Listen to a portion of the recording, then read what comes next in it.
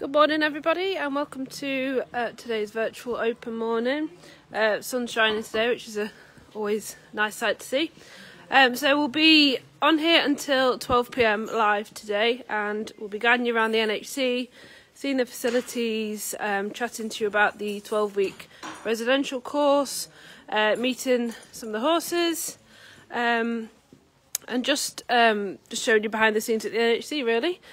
And if anybody wants to ask any questions as we go along, feel free to pop them in the comments and we'll either answer them live or we'll send you links um, in the comments after the event's finished. But please feel free to ask any questions you wish at all. So the learners are just getting ready to head out uh, for their second lot this morning. So we'll leave them to be tacking up and we'll just meet some of the horses as we're going round. So a few that are watching, they may, if you've come through the NHC, you may be familiar with some of the horses that are here, or you might have um, followed them in their racing career. So this one here is Ralph. Um, he's he's quite a firm favourite for some some learners. He's your favourite, is he? We've got Gamester Boy here, having a bit of chill time.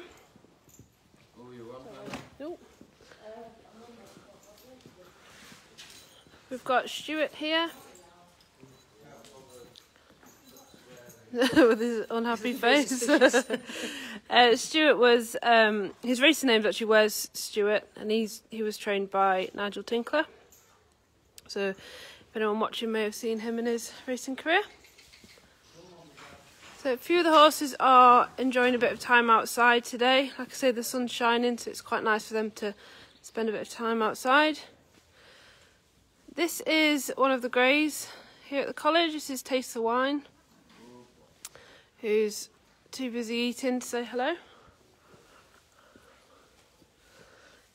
This one's Boris. He's a, a new recruit, I believe, relatively new and we'll chat to some of the learners as we go around um, about the different temperament, personality of the horses, which are their favourites, etc. So this morning we'll be talking all about the 12-week um, residential foundation course. So that's the main course that we do here at the NHC, and this is what these learners are currently undertaking. So as it says, um, it is a 12-week course. So the learners will live here on the college for 12 weeks. Um, and it is available for anybody that's age 16 or over. There's no age limit as such, as long as you're capable of working with, with horses. Um, we do have a rider and non-rider option as well. So most learners do prefer the riding option, but we do also have a non-rider option that a lot of learners do undertake as well.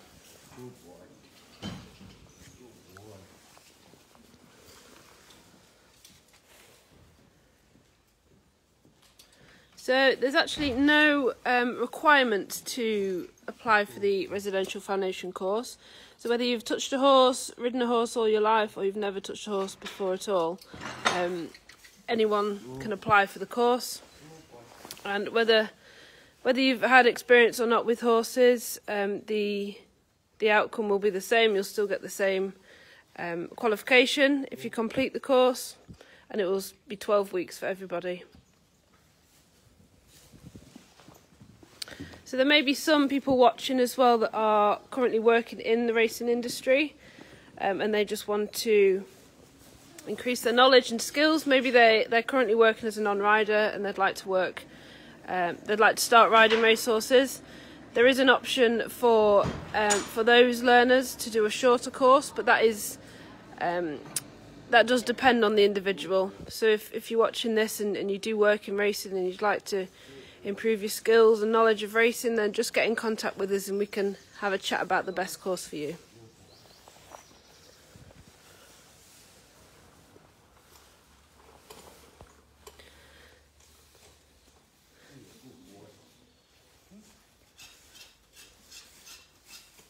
So there's a question um, on here uh, from Kane. Can you apply when you're 15? Yes, you can absolutely apply. Um, you know, as well in advance as you wish. If you're keen to start, then send us an online application form. Just make us aware of, of when you finish school, um, of when you'll be able to start by. And as soon as you're 16, when you start, that's absolutely fine. But yeah, get your applications in um, and get your course, um, get your course date secured.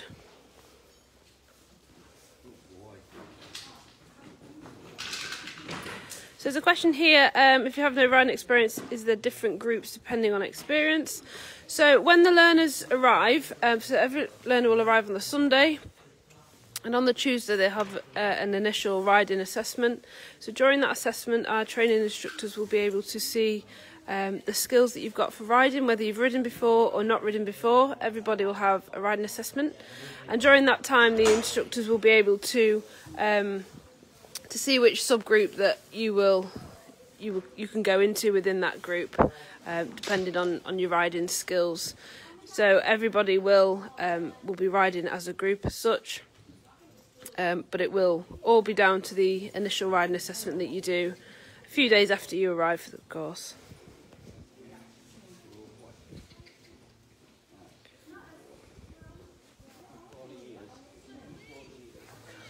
So we'll move on to a few others that are getting ready.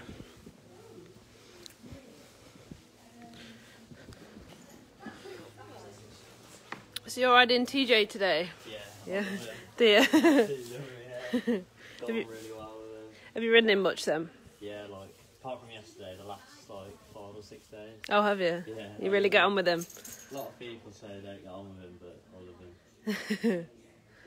And you're heading out He's got his own temperament yeah, just take to him. Yeah. Yeah. Well, everyone has their favourites, don't they? It, yeah. You're definitely your favourite. Yeah, definitely.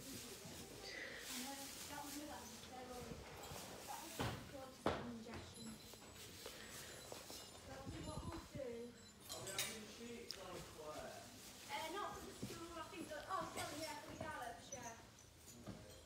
Oh, have you got Ralph? Yeah. Oh, no, he's not playing.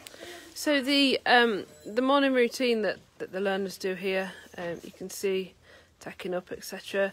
This replicates a, um, a racing yard. So what they do in a racing yard, so it is early mornings. Um, you know they have to work fast but correctly, so ensure that all the tacks put on correctly. Um, but it does replicate what's done in a racing yard, so that when the learners do head out into the workplace, um, there's no surprises for them. They're aware of exactly how they need to work um, and keep up with with all the staff that are, have, have been working in racing for years.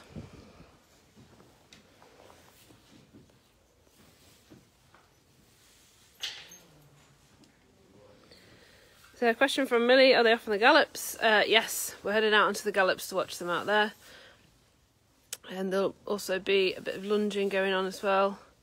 Um, so we'll be able to watch a few things this morning. But yeah, the main thing we'll be doing is watching them on the gallops.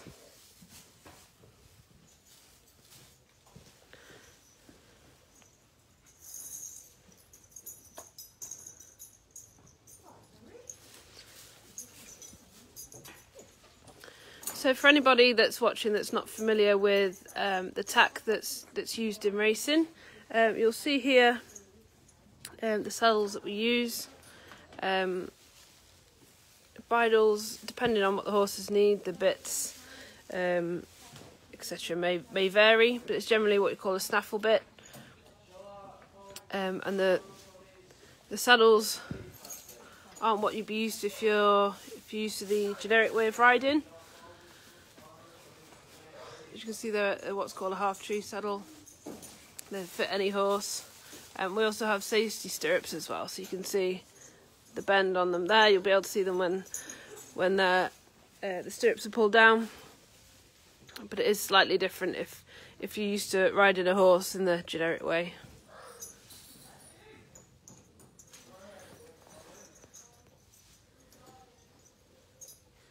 So a question from Kane, what are the limits for weight to go on the course? Um, so if you want to be a rider on the course, wearing your full riding gear, you need to be a maximum of 11 stone.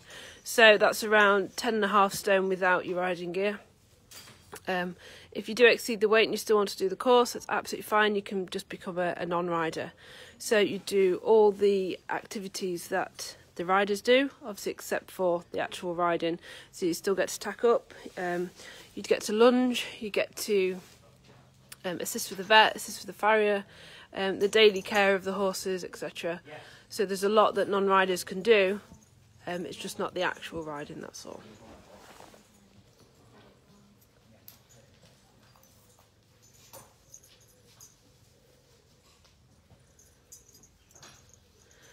Uh, so, a question from Jasmine: How many weeks have these learners been there? Um, so it varies for some of these learners. So we have a course start every six weeks. Um, our, the college is open 365 days of the year, even including Christmas and New Year. Um, but a course to start every six weeks. So there's a variation of um, of learners and how far along the course they are.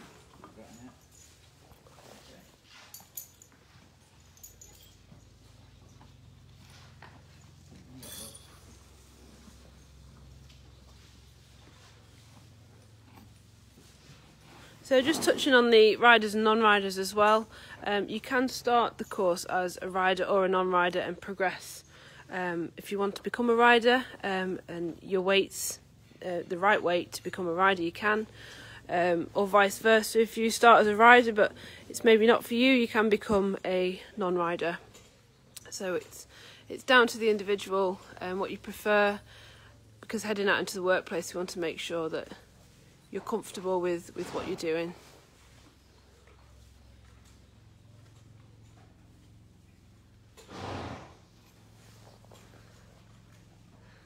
So you're riding Boris today. Yeah. Do you ride Boris much? Yeah, I've been on him all week, so. Oh, have you? used to each other now. Do you like riding him? Yeah, Yeah.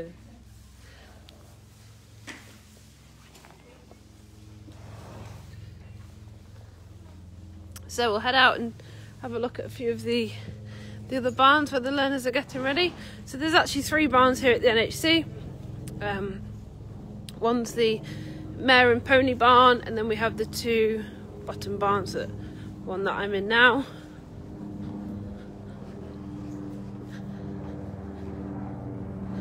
So this barn over here has a few, few more horses that are a little bit more tricky to deal with in the stable.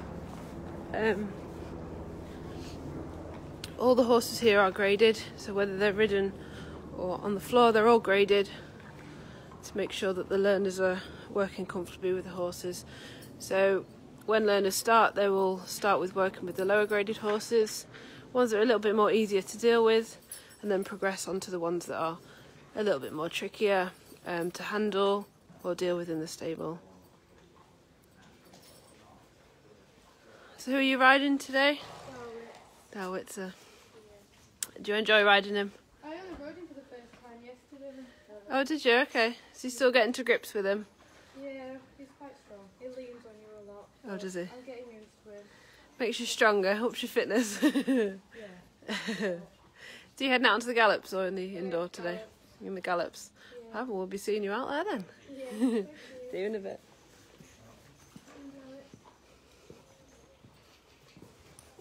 So this one's Axiom. Who's coming to say hello?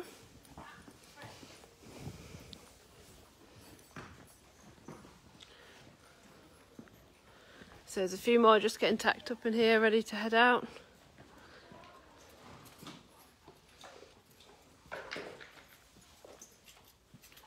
Who's this you're riding today? This is just playful. It's my favourite ride. Oh, is he? Yeah. A lot of you are riding your favourites at the minute. Have you ridden him much whilst you've been here? Yeah, quite a lot. Um, I rode him yesterday as well. Oh, okay. Um, but he's really nice. He's really calm. Yeah. He's a good boy. Oh, that's good. Are you heading out onto the gallops? Indoor today? Yeah. Fantastic. Right, we'll leave you to get ready. So you can see a lot of horses are having a bit of downtime at the minute. Some of them have been ridden for first lot. Um, so if you're unaware of what a lot means, um, we call a lot basically the uh, the group that's riding. So if you come here and you hear that, that you ride on first lot, second lot. That just means the first ride or the second ride of the day.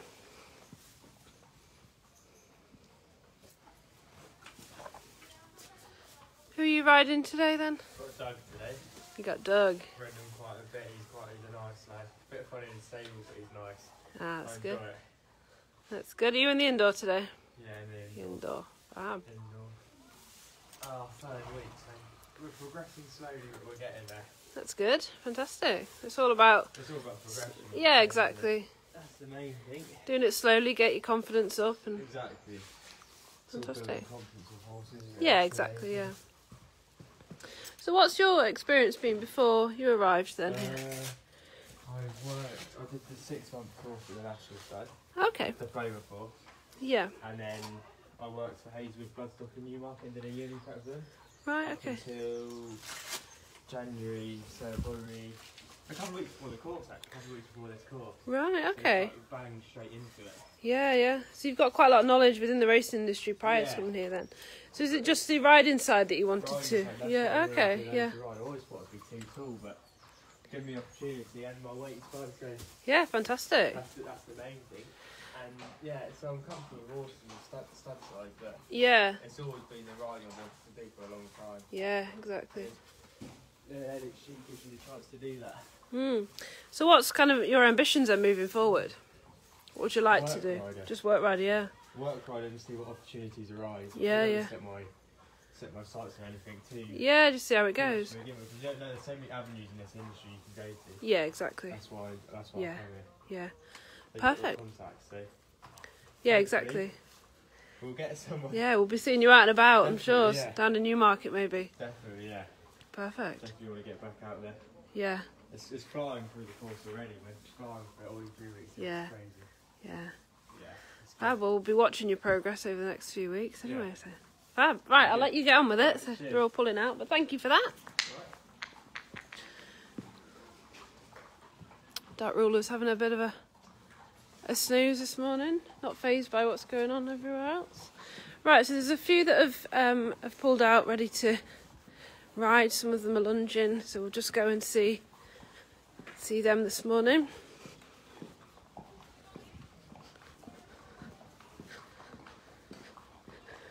So we have a variation this morning. Some are riding on the gallops, some are riding in the indoor school, and some are heading out for lunging, I believe. We'll be able to catch up with them later, the ones that are, um, are lunging, because that's something that non-riders do whilst they're here. Um, so it's good to see what a variation of things that non-riders can do.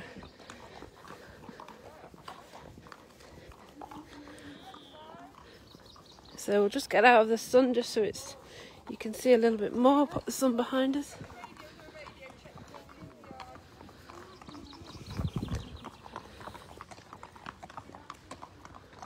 So when learners begin um, begin their course as a rider, they'll actually start in, in the indoor school until their confidence is gained. That's when they'll head out onto the um, out onto the gallops. So those that start, regardless of your previous riding experience, you won't just head straight on, out onto the gallops. So we make sure your confidence and your skills are are improved, um, and the training instructors feel that you're ready to head out onto the gallops before you do.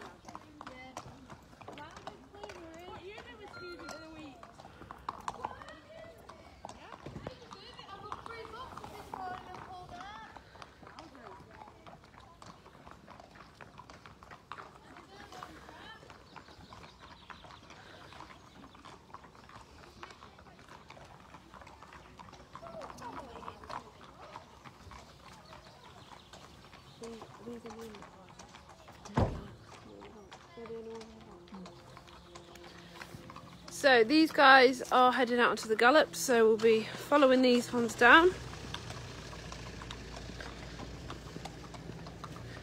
So we'll pass a few of the facilities on our way, um, but on the way back we'll actually be able to, to have a look at them properly.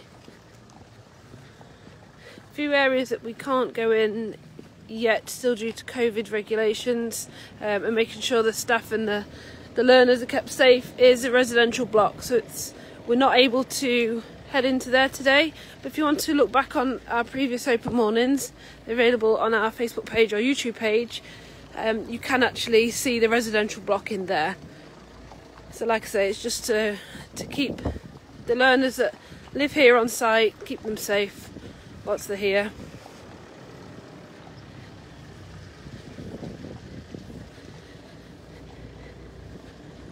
So it's a little bit of a walk up to the gallops, um, but it's good as it does warm the horses up a bit if they've been stabled.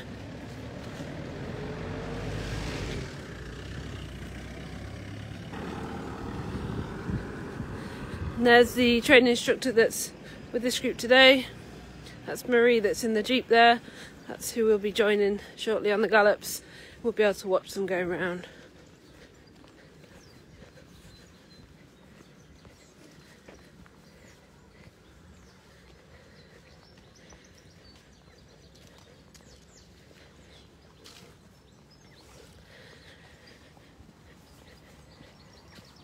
So I believe that most people watching will be interested in the 12 week residential foundation course. But if there's any other courses that anybody wants us to chat about, please let us know and we'll, we'll have a, a chat about them um, and see what options are available here.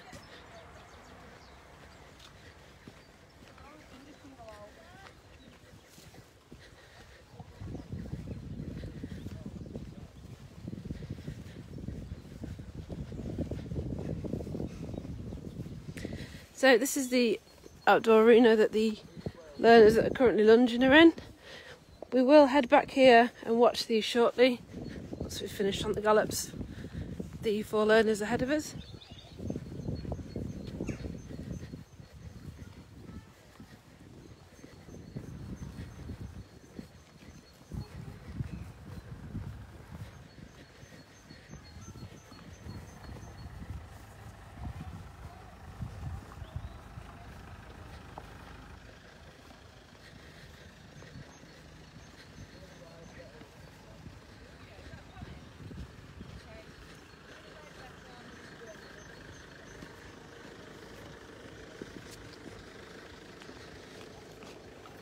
So a lot of people ask um, about the cost of the course as well.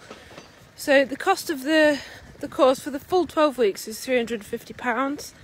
Um, so that's like I say for the full 12 weeks includes your accommodation, um, your meals, all three meals a day, and the tuition. The tuition's actually free, but that cost actually covers uh, the learners living here for 12 weeks.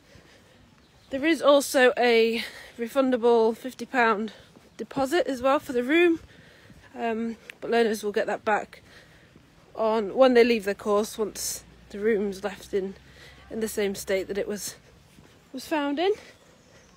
And we do also have bursaries available for those with a household income of £23,000 or less.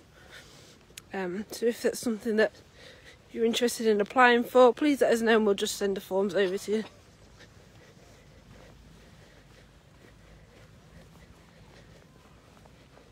It's nice to see everywhere drying up, isn't it?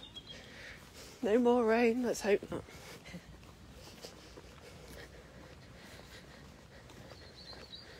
We're not forecast rain for a week now. That's good.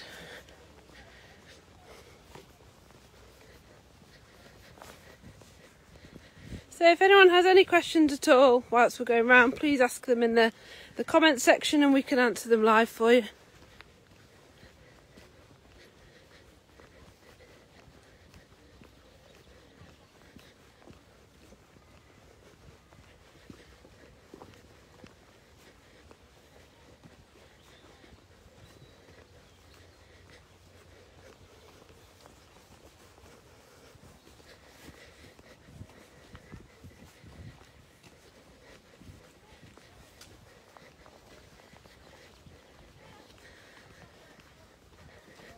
So all the horses that we have on site here, which is roughly around around 40, just over 40 I believe, um, they have all had a racing career.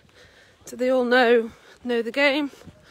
And they do vary in, in age as well. We have some that are a little bit younger, um, and some that have, you know, very they're very re- retired as such, you know, getting on for late teens.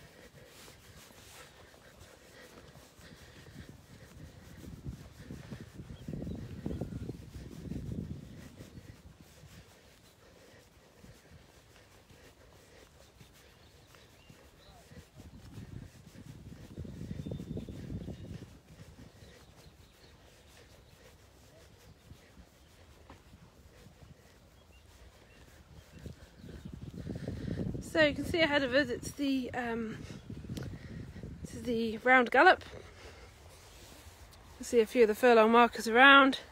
It's actually just short of a mile round here, seven furlongs. and There's eight furlongs in a mile, so it's just short of a mile. So they do two laps of trot to start with to warm up, and then they'll canter around a lap, just over a lap.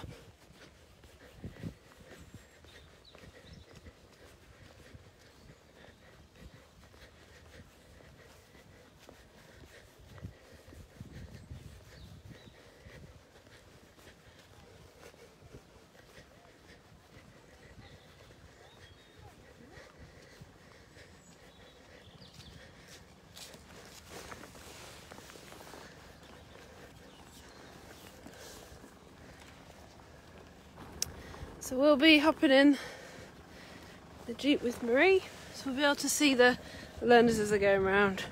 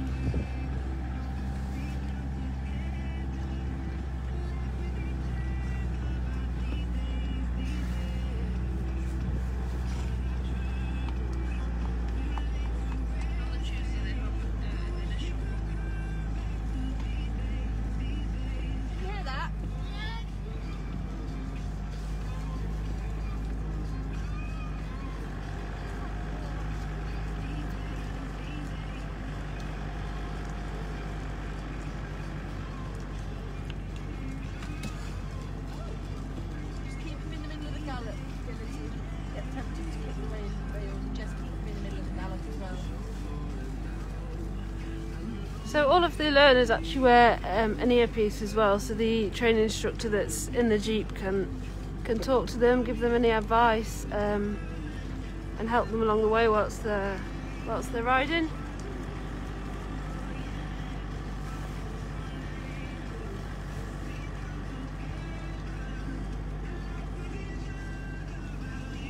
So, Mar- so Marie, this group of horses here, then are they? Um,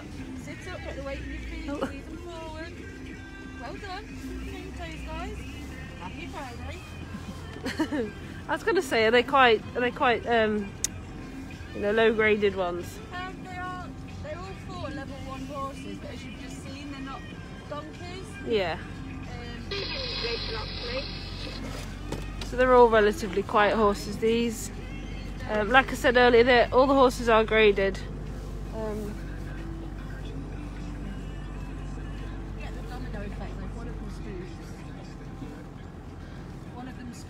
yeah. So the the learners will also have to have the you know the wits about them. Make sure they're just because they're not leading the string doesn't mean that they're not. They have to switch off. And this one at the back, he'd probably be the trickiest, because obviously when we get cantering, he'll probably go a few boxes trying Okay. to take the rails off. Right. Okay. The two in the middle are actually brothers. Yes. Damon Dowitzer. Yeah. At this stage of these learners' uh, journeys and, and the foundation course, what are you expecting to see from them? The main thing that we're aiming for is control. So we, although we're on the gallops, we don't want to see them galloping. If they gallop, we've got a problem. So we're trying to encourage them to remain in control, keep the horses balanced, you know, nice steady pace. Obviously, we're working on their position and technique as well. They won't be at their fittest yet, which is why they're still on these horses. We've got another sort of three weeks go. We'd like to think in the next two weeks their fitness will improve and they'd move on to some of the more keener horses. Yeah. Um, but yeah, at this stage, it's really about them being secure and I'd say the control. Just really just building on their confidence so that they feel confident enough when you step up to some of the level two horses. Yeah. So how do you decide what's a level one or level two horse? base it on their keenness, keenness, how reactive they are. So, like, so with Ralph, he will buck and try and kick the rails, but he's doing it more to kick the rails rather than to get the rider off. So, he, he, you know, don't want to jinx it, but he very rarely will actually throw someone off. Some of the sort of higher level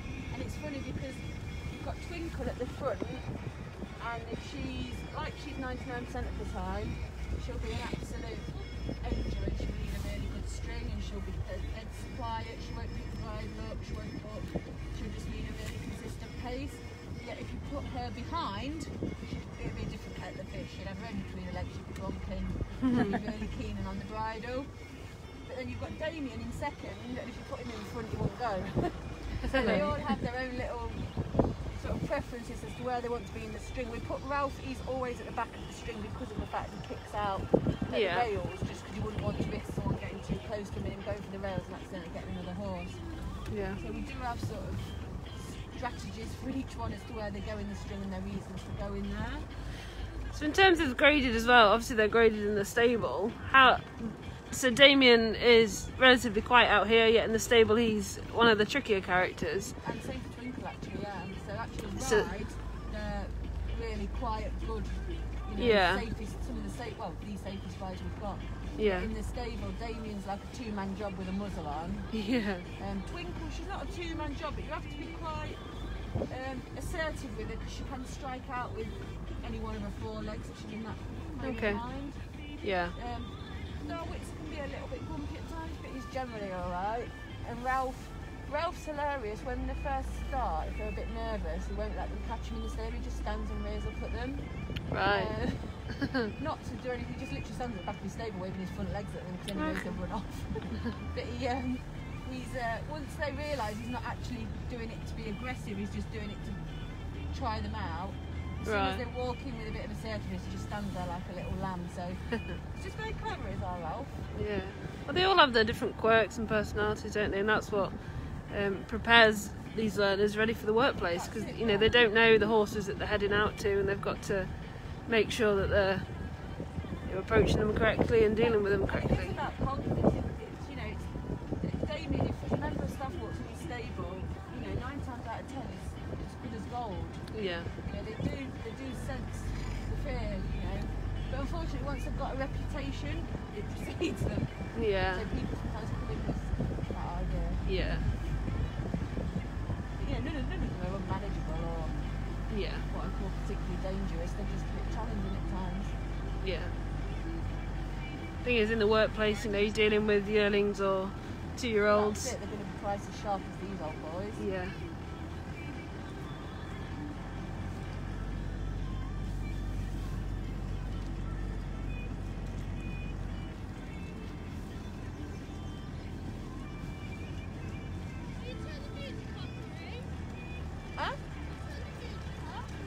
No, it's still on. Can't you hear it? Must have had a numb thumb.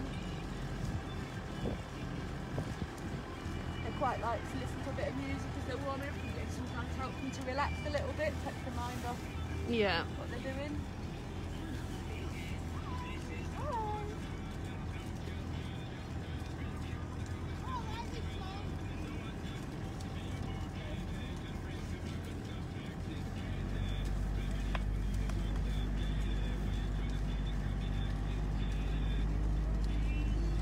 So is this group going to be cantering as one group? Yeah. They can. Yeah, they are. Yeah.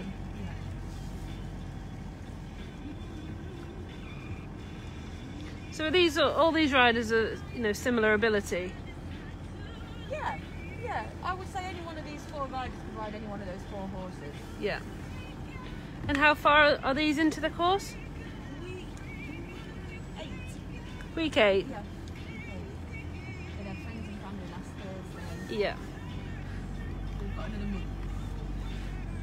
So you feel that they're all on track for Yeah. heading out into the workplace for a month's Just time? need to, like I say, it's more the fitness side of it now. We can work on, we can work on the positioning first lot in the school and stuff. But there's a big difference from being able to do standing canter for a few laps in the indoor school and holding it for nearly a mile out here. On, Yeah, exactly. Yeah. These horses are quite a lot.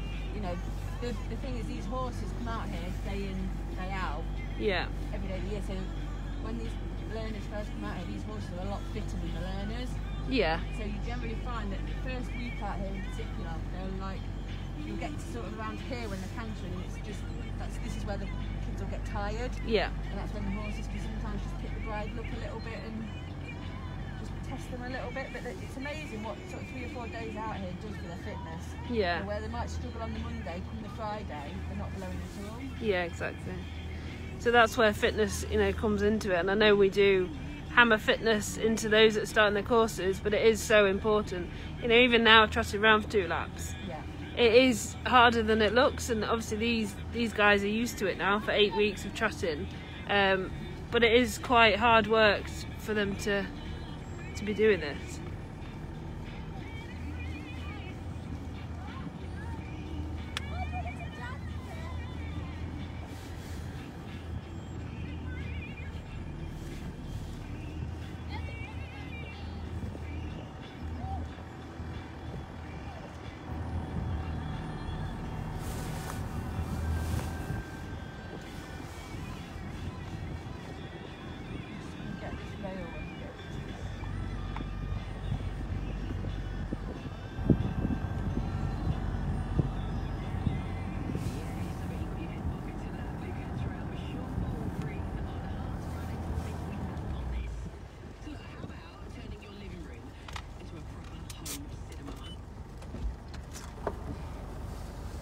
Just got a bit of a um, a rail mal- malfunction. We're just popping it back in, then we'll we'll catch back up with the guys. So they'll they'll shortly be coming back to walk, popping their stirrups up, and that's when they'll uh, do their canter. Okay guys, after three we're going to come back to walk slight stirrups. So one, two, three, knees in back. You can all four get your stirrups up, obviously you go into one string, so get organised as quick as that. Holly, you've ridden out quite a lot, haven't you? Yeah, so you're just going to set me a nice pace at the front, yeah? Kira, did you say you've not ridden him before? So you can see them all putting their stirrups up now. So they have to um, they have to make sure that they keep their foot in the stirrup whilst they're putting the stirrups up as well. He just does that. You don't want to grab him up too short. He's a little bit numb. Who else have you ridden out here? I don't know. Gamesters, Ralph, Twinkle, and him now. Right, so he will be a lot number than those. Yeah, he'll lean on you a little bit. I rid a Tommy, but it ran off with me. Oh, that's nice. um, he wouldn't be as keen as Tommy, Okay. but the important thing is that you don't grab him up too short because it will pull you forward, you know, because your arms are short. Yeah. We've had this discussion before. Yeah. You need to be able to get your weight back and just sit against him and just hold him. Don't be alarmed though if he starts doing this nervous twitch with his head, especially when the sun's out. Yeah. He's quite sensitive to sunlight, so he might do that, but Yeah. that's just him. Okay. You're not going to stop it, you've just got to deal with it. But obviously, you don't want to have your head so low that so if he does chuck it up, he's going to smack you in the face. So that's another reason I don't want you to get that rein too short. I mean, obviously, you need a contact, Yeah. but you need a contact that's safe enough, but he al- also allows you to just. So would that be alright? Yeah, Yeah. yeah. Okay. What?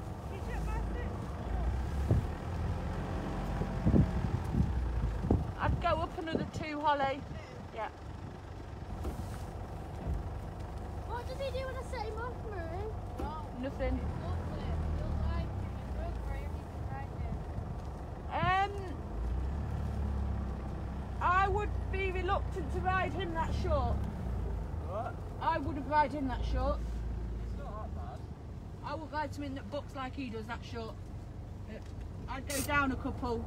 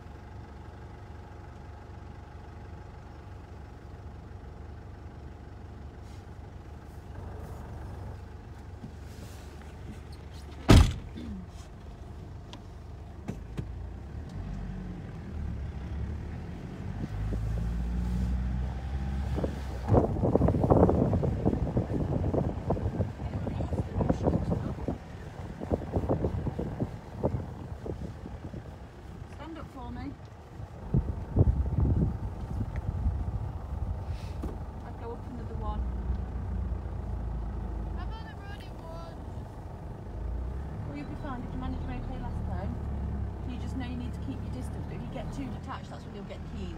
So obviously don't be right up Damien's bottom. Just keep sort of two to three lengths off him and then he'll settle for you. But if you try and add him sort of five, six lengths, you'll make your life really hard work. Maybe give Damien a little bit more room just in case he has a swish of the tail. You don't want Darwitzer to react to that. And Dylan, while we walk, if you just give Jess a little bit of room, because if Ralph gets too close to Darwitzer, that will just light him up a little bit. And again, I want you all in the middle of the gallop. Don't be hugging the rail, keep them in the middle. That's good, Dylan. So your distances as you are now in the walk are absolutely spot on. So if we can aim to keep those when we're going to trot and then into canter, you make me happy.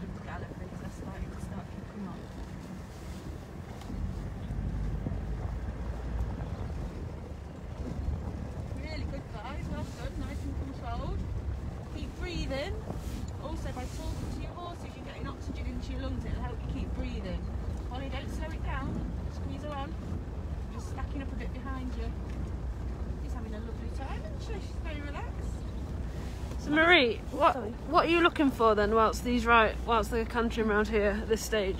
Um, I want them to be safe distances. Yeah. We're coming into what we call the dip now. So in fact, let me just, just guys, just be aware you're coming into the dip. So just maybe get a little squeeze down the rein. They're all really settled, but don't be complacent. So yeah, I want safe distances. Want to see them relaxing the horses, being like I said earlier in control. I'm quite really happy with this pace. Yeah. Um, I'm really happy how settled that horse is at the back. So he's obviously doing that a really nice ride. Because by now it usually would have picked at least three rails off. um, so it's nice that they're all, you know, settling and relaxing. And you could almost say that they're going a bit too steady and a bit too relaxed. But I'd rather them be like this than the other way because the kids will have a nice ride round. Yeah. Okay. Um, looking at their position, so like Holly at the front, I'm going to instruct her that just going to get a knee back and hips across the back of the saddle a bit more. Holly, just drop your hips across the back of the saddle a bit more, get your knee back. Sit here and keep a bit of bend in your elbows. Just get your leg a bit straighter, extend your leg.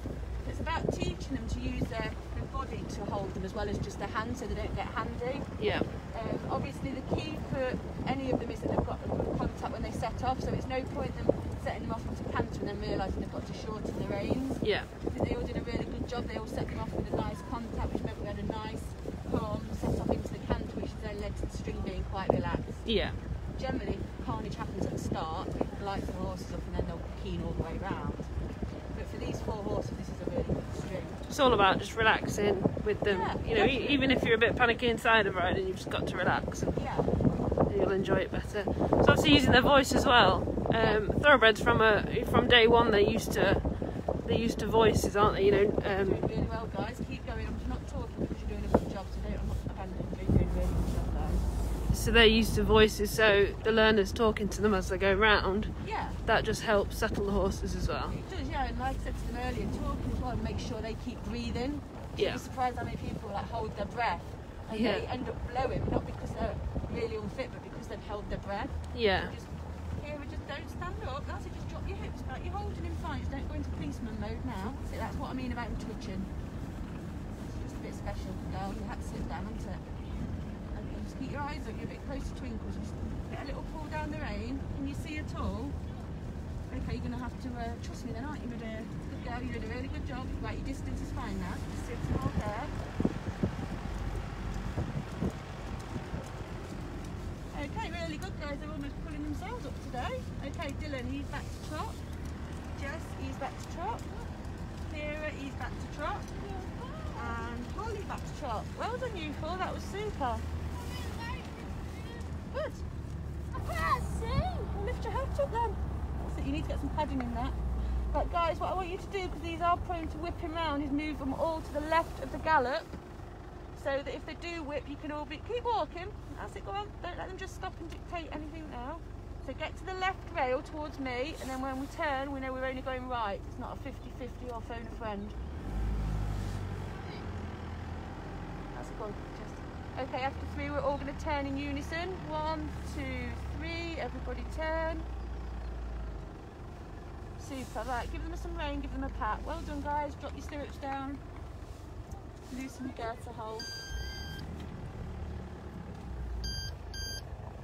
I mean, from my point of view, that couldn't really have gone much better. Okay. Um, So for this stage in their yeah, so course, that- then yeah, exactly. that's stage. that's yeah, where you'd I expect them to be. that, Yeah. So what riding experience did these learners have before they arrived here, Marie? So, Holly, they'd all, they all had experience, all four of these, Okay. um, but not race style. Okay. So, just basic riding, school or show jumping or eventing. Okay. So it's this new style of riding their stirrups up that's that is new for them. Yeah. Um, I would say they were all quite established riders. Jess, the girl here in the maroon body protector, she was here with us before. She had quite a nasty fall out here. Actually, I smashed one of her teeth out. Um, she just fell awkwardly. It wasn't the horse's fault. She just fell awkwardly. Those falls. So actually, to see her out here riding with this confidence, Yeah. she's been back three weeks. Um, yeah, it's really amazing. All right. I really liked it today. They were all really settled, weren't they? Yeah, I really liked it. Yesterday, because I didn't know what it was like, I struggled a bit. Did you gra- did did you grab him up shorter yesterday though? Yeah, yeah. So you had your, your rein contacts, everything with him. That's why I didn't. I thought at one bit you looked like you might have gone to grab him a bit shorter, and that would have not helped you. So that's why I said just trust yourself, and you were you were good with what you had. Yeah, I couldn't see his name. Yeah, good. He gets a pat for his efforts. He does. I wish I could see him. How was he, Kira? I think that's the best I've ridden out here. Best I've seen you, definitely. But do you know you were relaxed? It makes so much difference. And you know, considering you've not ridden him before, to see you that relaxed, it gave me a bit of a shock. It's not normal for me, like, is? No. but that shows that you're getting more confidence in your ability. Yeah. You know, the more your confidence comes, the more relaxed you'll ride and the more settled they'll be for you. And it's that roller coaster effect. I get a bit around this bottom, and that's a bit tight to pick up, but I feel like it was near enough an even pace the whole way around. Yeah, it was, and your distance off Twinkle was spot on. But I think because you were relaxed, he was relaxed. He didn't really pull at all. No, he didn't. So that's why he probably didn't get so tired because Yeah. he didn't really take you on. Yeah. But don't be um, deceived by that if you ride him again on Monday because he can come out keener than that. Yeah, I know. Yeah, but the key was again you had a good contact before you set off. Your distance was spot on. Jess gave you plenty of room behind you, and it all just went really nicely. Yeah. So well done. Thank you. All right, Holly. She looked like she was going to sleep at some points. No, it's just yeah, it's good. I'd prefer to see her like that than see her tense and fighting. But just be aware when you're leading, when she does drop off the bridle, you need to just keep her going forward so that the others don't stack up behind you. So just have that little bit of awareness of when, yeah, it's nice that she's relaxed and it's nice that she's steady rather than pulling your arms out. but you, you have still got a responsibility to keep a rhythm, a consistent rhythm and momentum for the three behind you. But well done, good effort.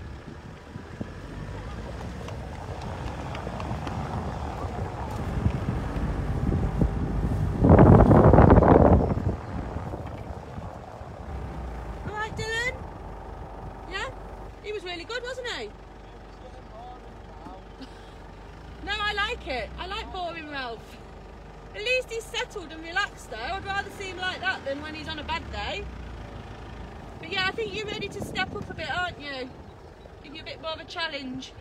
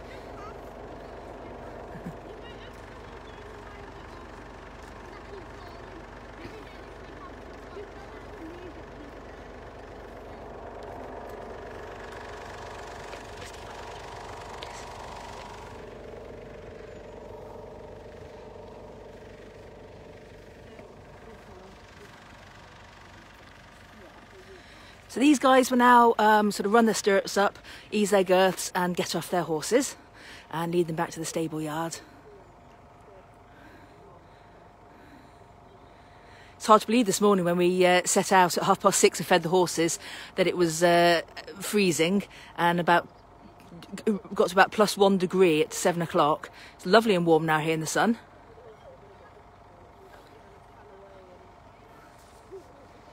The students are always rather chatty after they've uh, cantered on the gallops. Um, I think it's uh, sometimes beforehand they're a little bit quiet, uh, thinking about what's uh, about to happen, but they're uh, much more relaxed afterwards and uh, chat amongst themselves and chat about how their, their ride's gone.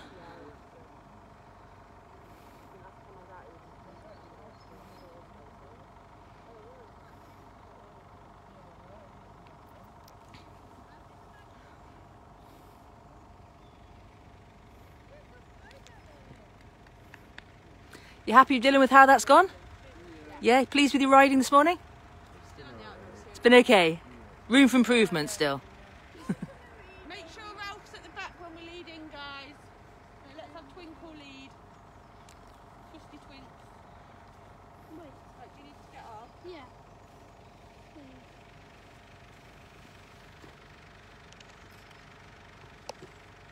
Yeah. Yeah, just give Jess and Dylan time just to get their stirrup.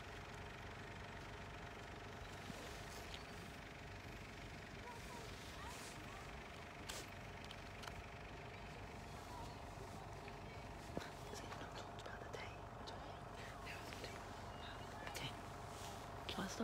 it now? Look at the freezing a couple of weeks ago, crying about riding people. Now I'm riding I see them all smiling all happy. Yeah, they are. all- Yeah, I think it's the sunshine.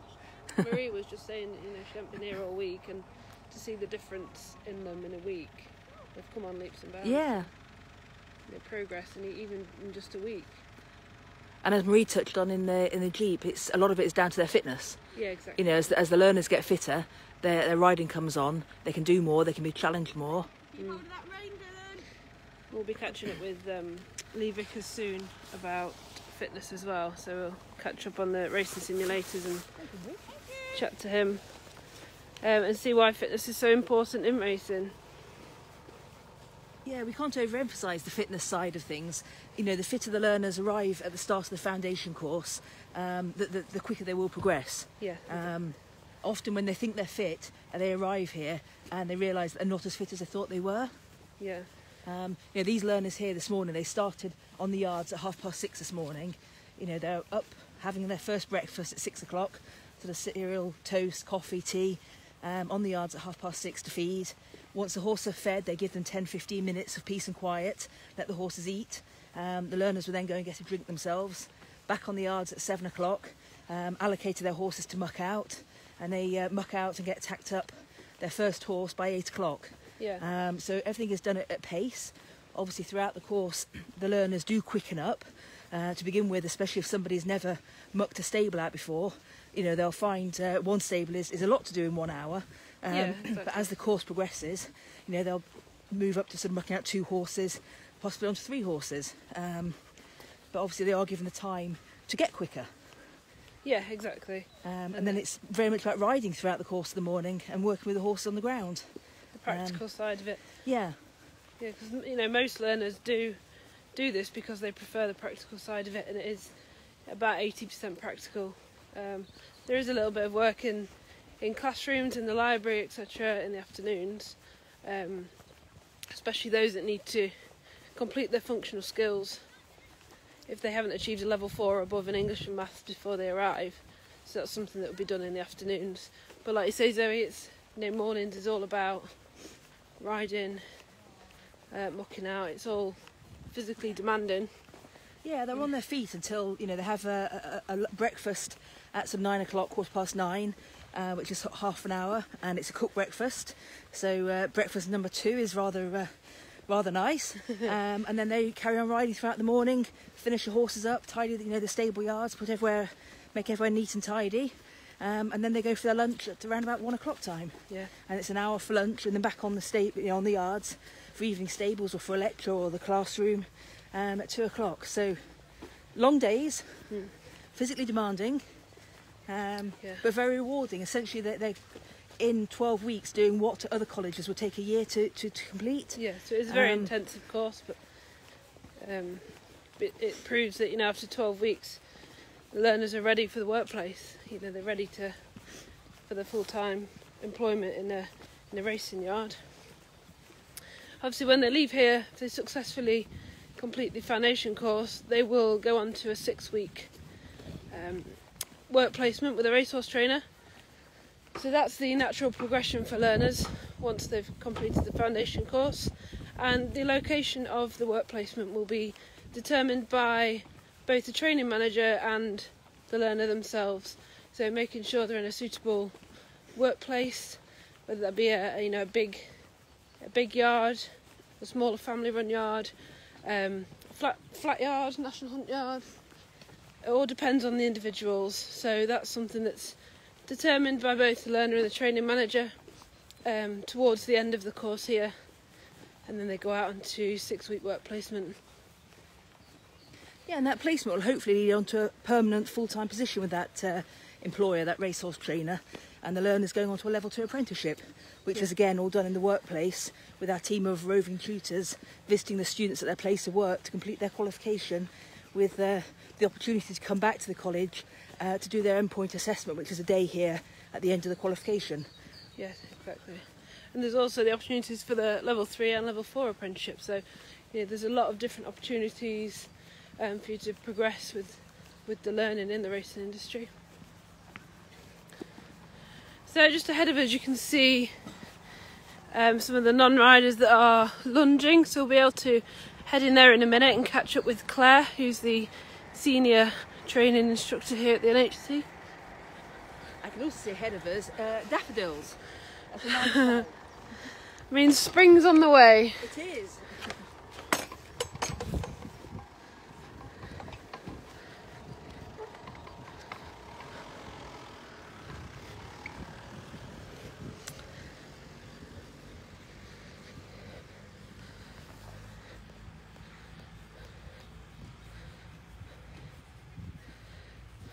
Uh, so we had a question um, asking the difference between level one to a level four.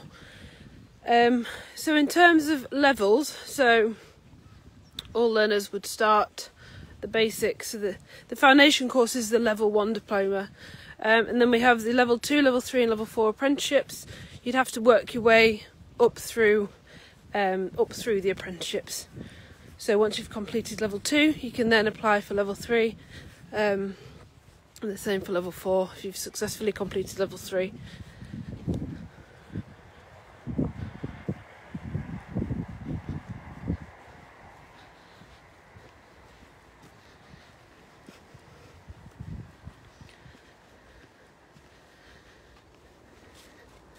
So you can see in here that the non-riders um, are lunging.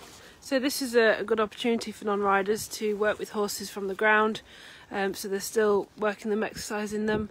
Um, lunging is a good exercise that a lot of racing yards use, whether it's for youngsters, um, bringing a horse out of work that's had an injury, um, and it's good for monitoring how a horse works from the ground as well if they have had an injury. And it just allows the um, the handler to to understand how horses, you know, how they work, um, and it's a really good skill to have when they head out into the workplace. So our instructor here, senior instructor Claire, um, actually started her career at the National Horseracing College. Um, I won't say how many years ago, but uh, it was quite a few years ago. Uh, and Claire was also uh, a female well, apprentice uh, jockey, one of the first girls in racing to hold uh, an apprentice jockey licence. Um, her son is a jockey, um, and, uh, and her husband was a jockey as well. He's retired uh, from race riding now. Um, but Claire's worked here, I believe it's 10 years now, just over 10 years. yeah. So a very long time, but her entire working life has been spent um, working in racing. Her, her father was a racehorse trainer, and uh, yeah, so her family's steeped in racing history. So what Claire, you know, doesn't know probably isn't worth knowing. In all honesty, she's probably forgotten more than a lot of people ever know. Um, so it, she's a real asset to the to the college. And as well as uh, you know, a lot of our other instructors, the majority of them have, you know, if they've race ridden or uh, worked in racing alone, the the skills and knowledge behind all of them um, is so vast that the learners here have you know the best the best start learning from those that have they've been there and done that, um, worked in racing yards, ridden. Um, I. I think most of most of our instructors have here.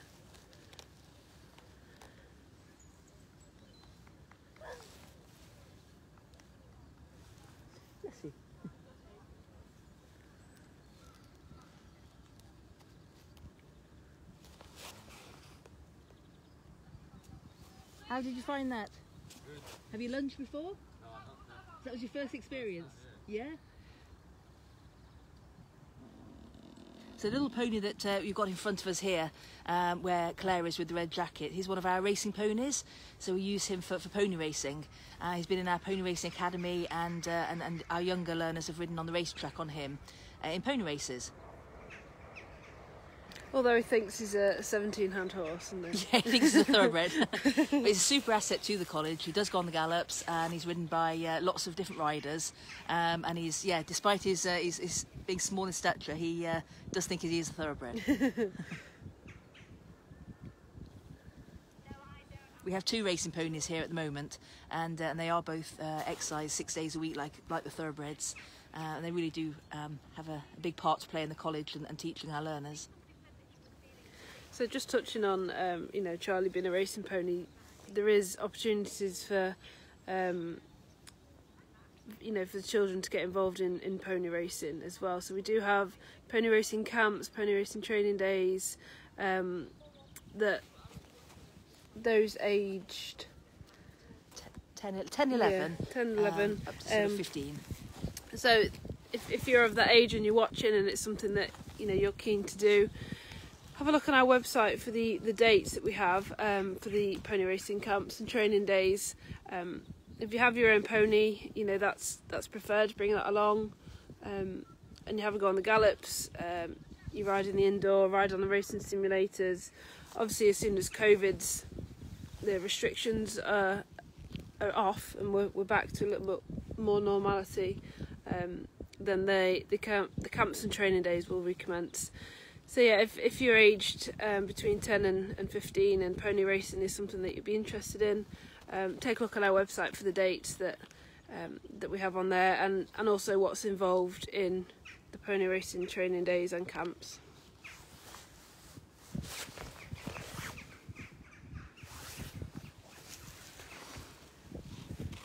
So hopefully we'll be able to catch up with Claire in a second.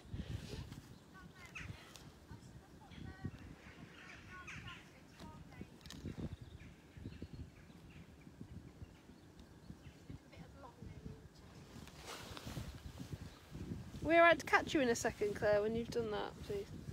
Is that alright? Thank you. Yeah, no worries, thank you.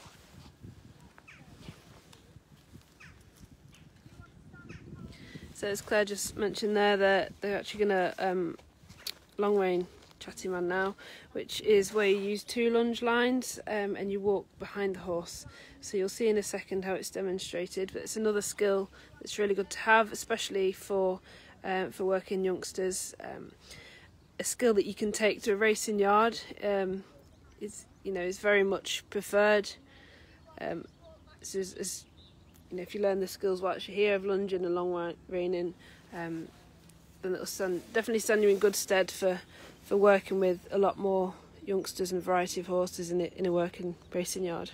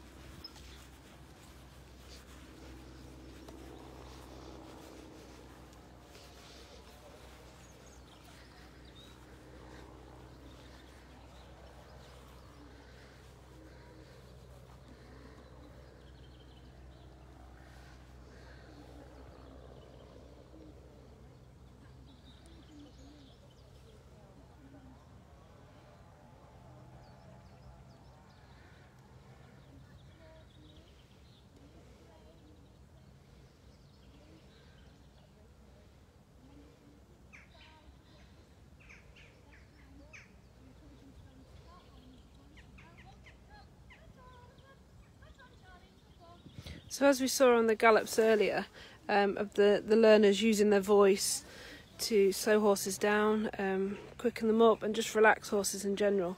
So this is where the voice come in, comes in as well, um, which is really beneficial whilst lunging, long reining, um, that thoroughbreds are used to from being youngsters, from um, you know, from being backed.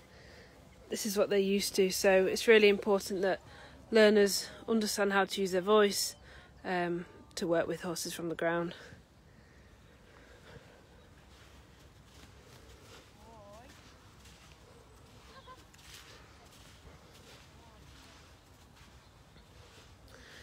Um, so Claire, can you just explain to us why, you know, why this is so important for the non-riders to have these skills? So, in a racing yard, a huge part of preparing horses to become race horses eventually Yeah. is the breaking in. So it's really important that they learn how to long rein and lunge them on the ground. Um, it's something that is done in, in pre-training yards and racing yards. Yeah. and they spend a lot of time walking miles with them and educating them with the stalls eventually. And Yeah, um, you know it, it's it's part of the racehorse it's part of the learning process. Yeah, and it is for the learners and it gives them the confidence to work on the ground with with the racehorses you know as they've chose the non-riding pathway they still need all these skills so that they can do you know other jobs in the industry that are equally as important as riding them yeah, So- exactly. it's a huge you know and we're so lucky to have these two that are great we have Mm. got some others that are a little bit livelier that we're going to do later and Okay. start introducing them Yeah, but um, the pony's brilliant because he knows exactly what he's doing. Yeah, The chatty man doesn't seem to mind. That's the first time he's had the reins round him since he was two years old. I've Oh, about 18 now, so not fazed at all. that's the first time he's ever had it done. He's never had that done. So obviously progressing them onto those that are a little bit more keen will, um, you know, prepare them for working with younger horses and, um, you know, those that are being broken. Yeah. Um, so it is good to, as riding, as you start them on the, you know, the lower graded horses, working from the floor as well. You yeah, know, start them lower. Yeah, you can't. It, it would. The horses would get loose if we got a real fresh one or a Yeah. youngster that we knew was, or a horse that we knew was awkward. It wouldn't build their confidence working with that. They need Yeah. to learn the skills, learn how to lunge with two reins on both reins, Yeah, turn the horse, set them off on their own. These are all skills they need to learn over time, which, you know, here's the starting point. Yeah, exactly. So for for non-riders, you know, a lot of people think, well, it must just be mucking out and um, you know yard work, but this is a, a good opportunity for them to work, you know, work with horses from the ground. So what other things would non-riders do whilst they're here for the twelve weeks? So the non-riders get um, taught how to pull manes, so they learn pulling manes. They do extra with their plaiting, so that Yeah. when they do go on work placement, they've got a good potential, a good chance of going racing.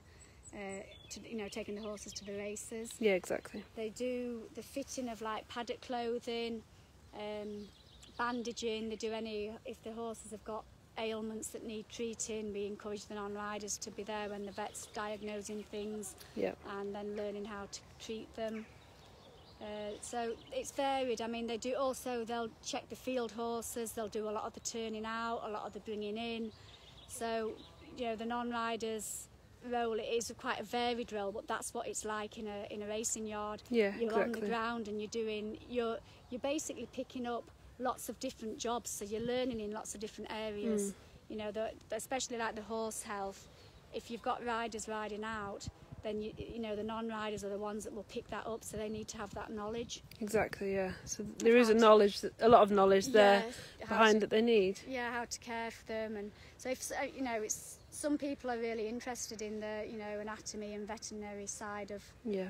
of the horse and you know it's a it's a good opportunity to learn it Yeah, exactly. So Right, the, the yeah. non-riders, you know, the jobs that are in the racing industry for non-riders are, are just as important as ones that are exercising the horses every day, ready oh, for racing. definitely, yes, absolutely. And you know, to be a good all-rounder is, you know, you're, you're invaluable in a yard. It's something that you need somebody that is able to pick up the veterinary, put a horse on the walker. You can Yeah, trust them to liaise with the vet, liaise with the farrier, write Exactly, notes yeah. up. You know, because the trainer can't and head lads they can't be there all the time. yeah, they rely, you know, they are relied on a lot. yeah, exactly. Perfect. Well, thank you very much for that, and we'll let you get back to them. Okay, thank you. okay, you can fetch him back to walk now, Kate. So remember how you gather your rein in as you're doing it. Run your arm up, make the loop and get. Right, so now we'll head back to um, to the site and just show you a bit around the facilities here, um, including the the canteen, um, the rec room, and a few other bits and bobs. We've got the simulator room as well, so the racing simulators. We'll have a demonstration shortly from a few of the learners.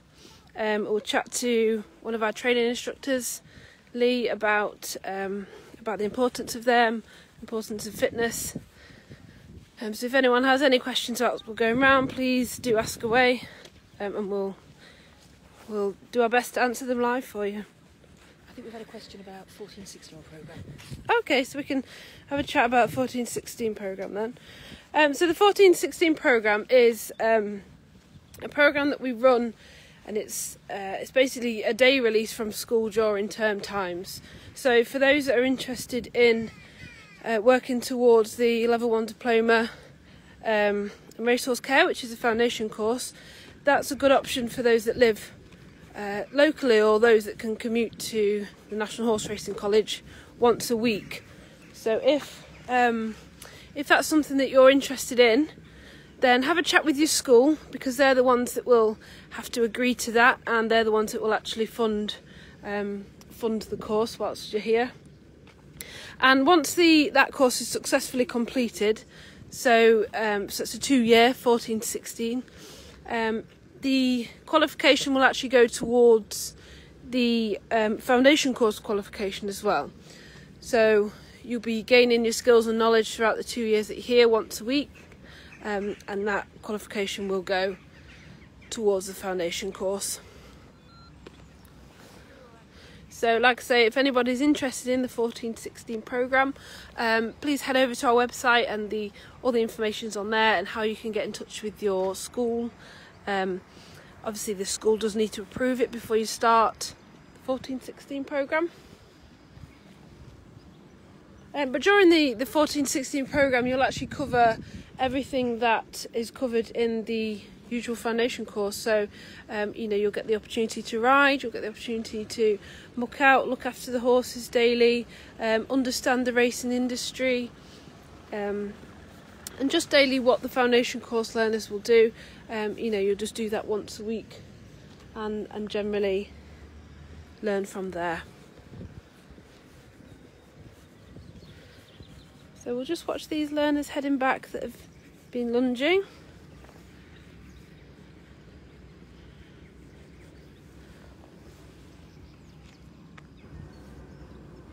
So a few of these learners that are here will be the ones that are likely to give us the um, racing simulator demonstration. So once their horses have, have been put away um, and the horses are all settled in their stables, um, then we'll be able to head over to the racing simulator room.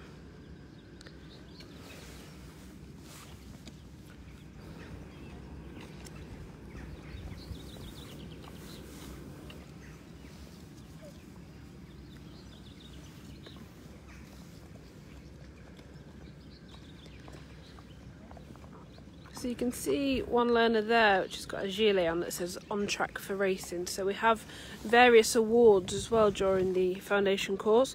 So we have a student of the week award and on track for racing award. So student of the week is selected by our training instructors um, and that's you know a really good award to receive during your course and we also have the on track for racing which means that you know you're showing dedication and commitment during the course um, and that uh, you know, really progressing and that the training instructors are aware of what you're doing. You um, radio, Yes, then I got four. I won't go through the door. So we're now going to head over to the indoor arena, which is where some of the learners are at the moment that they're riding. So the learners in the indoor are uh, what we call junior learners. So they're on week three of the foundation course. Um, so they're learning to, uh, to canter at the moment. So a lot of these guys hadn't ridden before they arrived here three weeks ago. So you shall see their progress. Yes. So talking of juniors and seniors, um, if if those watching aren't familiar with with that, so in the first six weeks of your course, you're actually a junior, and in the remaining six weeks, you're a senior. So if you're wondering what junior and senior means, that's that.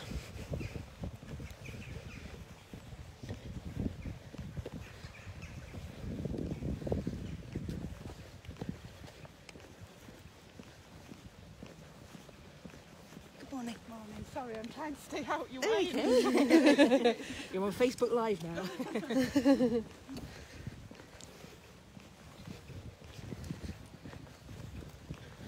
So we touched on earlier what the course is um, is available for. So anybody aged 16 and over.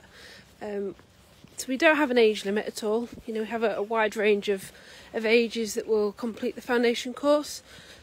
Um, you know, from those that are 16 out of school, that you know, they've got the heart set on a career in the racing industry, through to we've had those that are over the age of 60 that want to work with horses from the ground.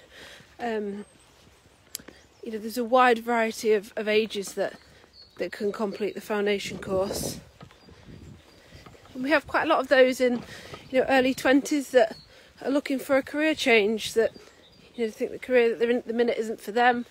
Um, so they come and complete the foundation course, head out into work placement, gain full time employment with a racehorse trainer, and they've never looked back. So if you're watching this and you think, oh, maybe I'm too old, um, not at all. So just you know, give it a go, and if it's something that you'd really think you'd enjoy, then just apply online and yeah, like I say, give it a go.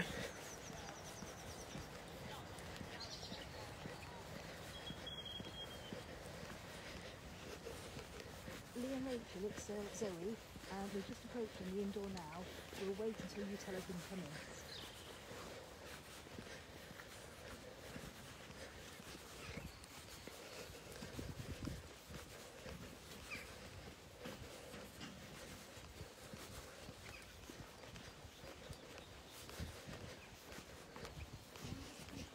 We'll, we'll stop here. Okay, thank you, Rachel. So we're just going to wait a second before we go into the indoor, just because there's somebody cantering. Uh, we don't want to spook the horses. So just a little bit about the indoor arena. Um, obviously we'll go in in a second. So this is where the initial assessment will take place. So when learners arrive on a Sunday, um, the Tuesday is the first time they'll get to ride. So they'll all have a chance to ride in here regardless of previous experience and this is where the training instructors will just take notes on um, where they think your abilities at, your riding skills, just so they know um, what horses would be suitable for you um, and one direction that they need to they need to teach you and able to uh, you know get the best out of each individual.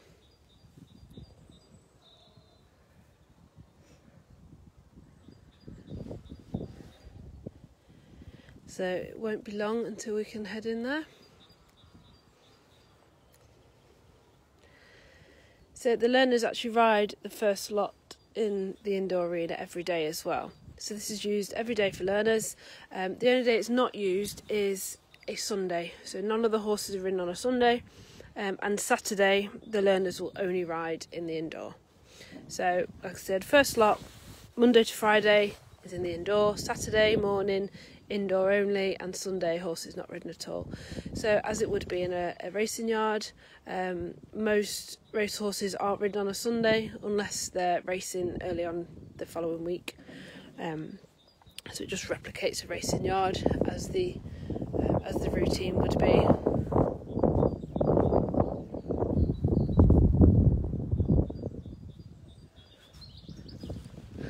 So we've got the go ahead now to go in. Say, we don't want to spook any horses whilst we're heading on in. Thank you. So as you can see, the indoor arena is a big, spacious area. So it's ideal for, for bigger groups as well. So this is a relatively big group. Um, so it's ideal for those that are working in big groups. And it's a nice, safe environment as well for the riders.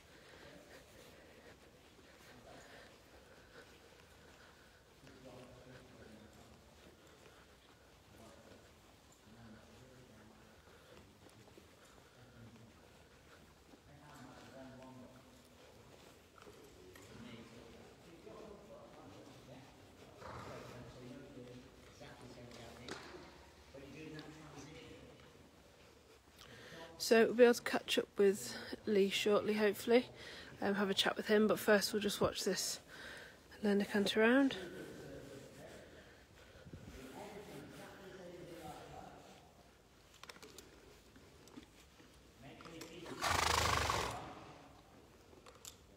Happy? Get him on the boards.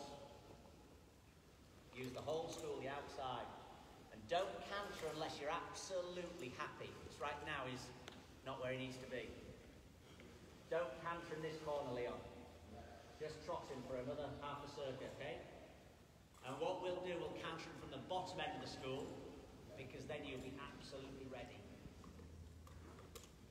And all you're going to do is exactly the same as you did for your sitting canter, except you'll get a slight shot more self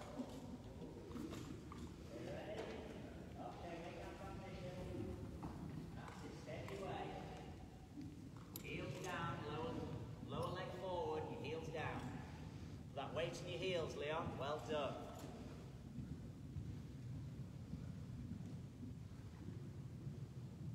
That's it, you've got it. Nice and relaxed at that pace. If you feel it slow down slightly, it a squeeze. Keep your heels down, the lower leg forward, Leon. That's it. Use all your school. Did a good job. That heel down, your lower leg forward. You're maintaining a perfect collective canter. Keep it going to a stop there. Do one more circuit. Good for you.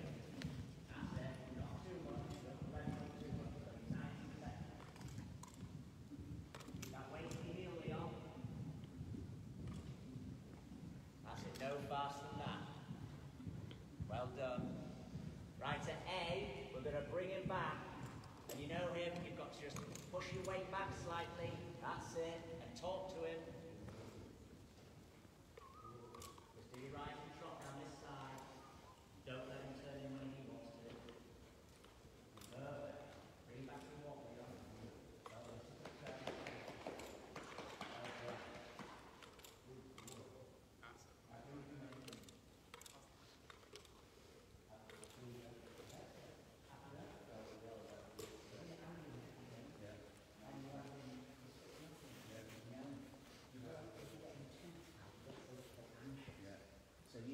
let fall into a.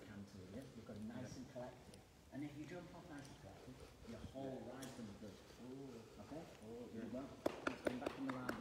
Who have we got next? Mia. Let's go. Are you put your spirit your? Ready for your light seat? That's not right, eh? Remember what you're doing exactly the same as you did before, but I would have a slightly shorter contact with your reins, so when you make that transition, you can get straight out of the saddle. And remember, heels down, lower leg forward, and keep your hands down here, yeah? Exactly the same as you did before. Lee, can we just catch you quickly just before uh, Mia sets off? So, where are these guys at at the minute, and what are you kind of looking for in them? They've just made the transition from sitting canter. We've already Okay. done a sitting canter, and now they're getting into their light seat, Okay. which is the intermediate stage before they go up into the standing jockey position. Yeah. So this is just getting them comfortable and familiar with standing up in the stirrups and getting the balance that way. Yeah, building their strength. Yeah. And Leon, how, how was that for you? Exactly the same. So, so you've been here three weeks, yeah? And what riding experience did you have before you arrived here? GP racing, like not not in racing industry before, so just general practice horses and just general yards and stuff like that. Um, pony club, not pony club, general horses really. So could you walk Trot and Canter before you Uh, arrived here? Trot and Canter, but that was 12, 12, 13 years ago. Since Okay. then, I've never sat on back horse again. So Okay, so it is like starting again from scratch and learning the racing style. It's like riding a bike, as you say. Once you get going again, Yeah, it comes back to you, of course, yeah. getting And onto the higher level horses, it's, it's a bit better as well. You Okay. better about yeah, and how are you finding the course? Great, it's amazing. I, I don't know why I didn't stick at it 10 years ago. Okay, uh, do you mind if I ask how old are you, Leon? 27. You're 27, so you're still a young man. Yeah, oh, I wish I was 27 again, Leon. so, so what, what's the ambition? Where, where do you see this course taking? Be a jockey, yeah? yeah, Okay. A. Okay. yeah, just thought I'd finally get back into it. You know, and, yeah, just try and live my dream. Okay. Go on the racing. And what's been the hardest part of this course for you so far? Been away from my little boy. Yeah, you've got a family, haven't you? Yeah. Yeah. Yeah. So that really, I mean, everyone is great, the group's great. So, Yeah, yeah. I mean, that's the only thing that I from home is, is that, yeah. The 12 weeks will go fast, and Yeah, uh, it's gone very yeah, fast. and obviously because of COVID at the moment, we're not allowed to have uh, anybody on site, so it makes it a bit more tricky, doesn't it, to see uh, family and uh, yeah. I mean, FaceTime and that's obviously a great way to keep in touch. So course. we've done that every night, Yeah. every so often. Yeah. So, yeah, other than that, I'm loving it. And what's it like living here? Yeah, it's all right. Obviously, you're a little bit older. Cons, but I mean, Yeah. like, I've got my own room, so Yeah. not like some of the people here that are sharing. But I mean, I have my own personal space. We have the rec room. Yeah. Uh, just, just yeah, I think it's quite good. Yeah. And, and your fitness, how fit were you on arrival? Could you have been fitter?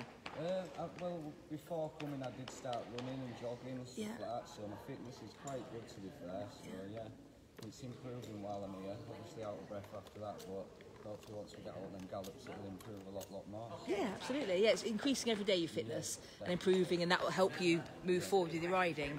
Leon, thank you. Thank you for sharing that with us. Thank you.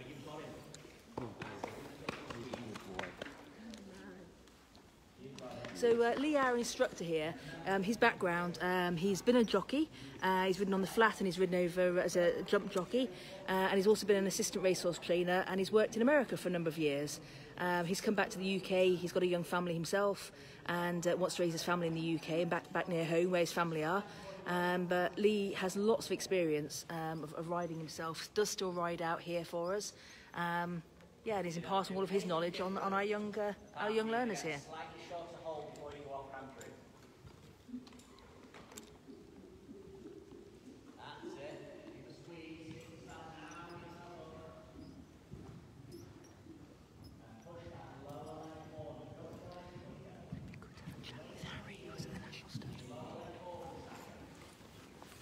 Lower leg more forward. That's perfect. Hey, put your weight in your heels. No faster, Natasha.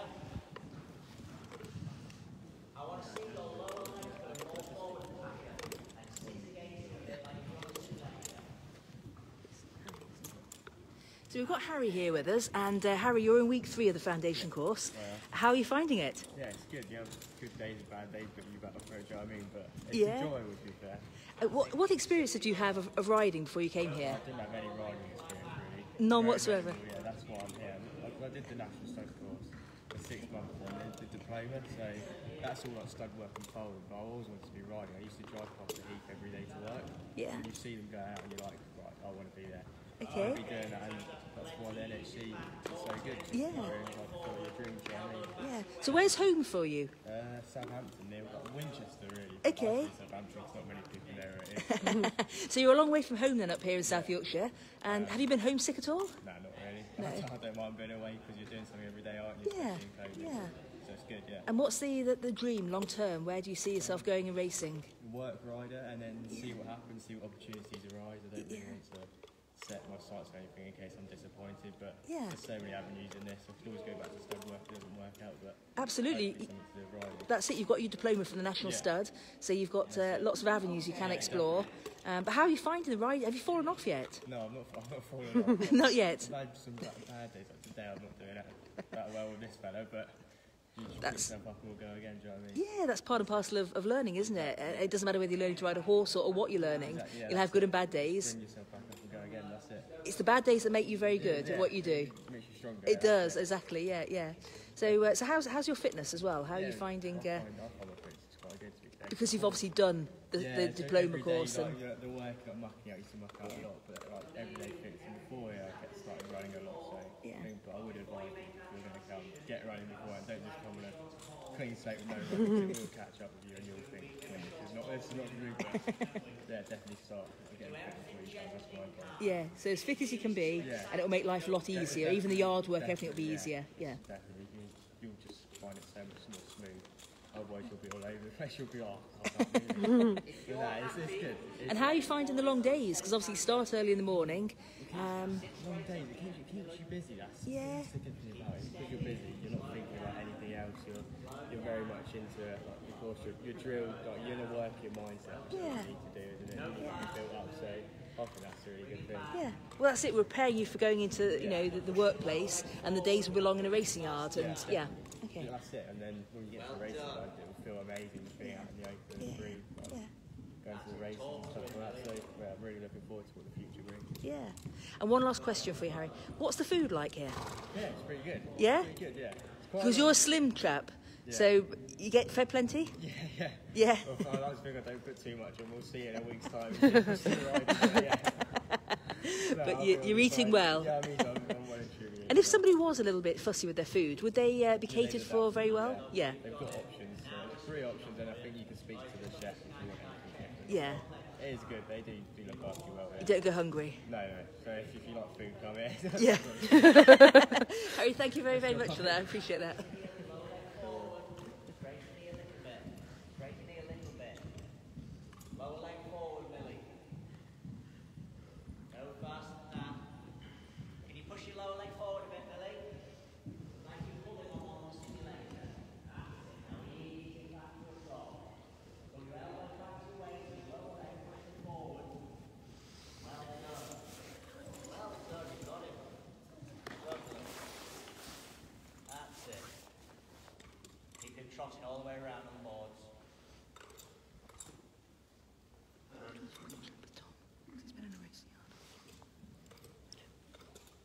Well done.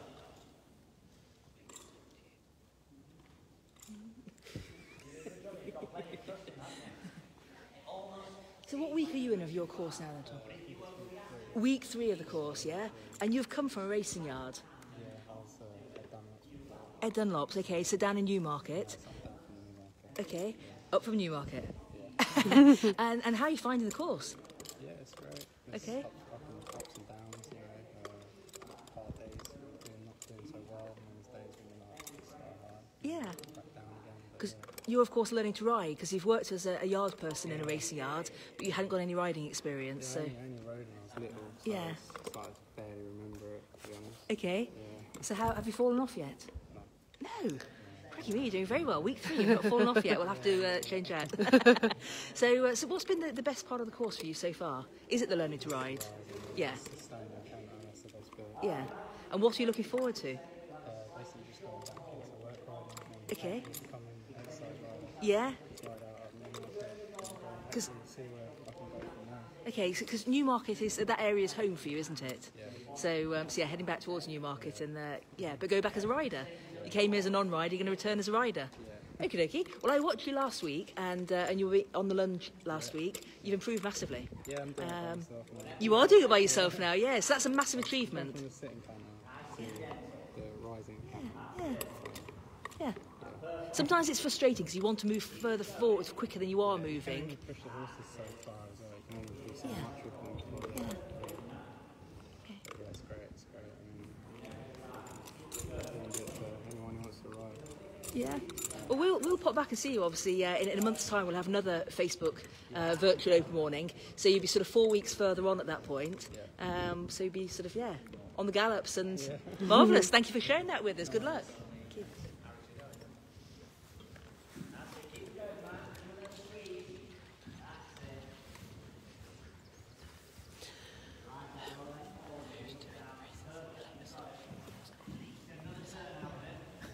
You're doing everything right. Hands nice and still. He's relaxed. You're relaxed. Keep breathing. Good job. Keep it going. We'll do one more turn.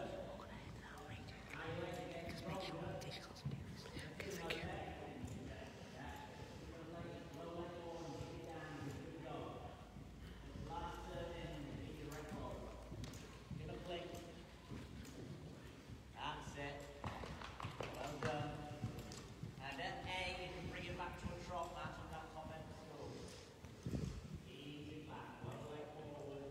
Talk to him. Well done. You're right in front. One more. You can hold that on the side of it. He come back to the wall.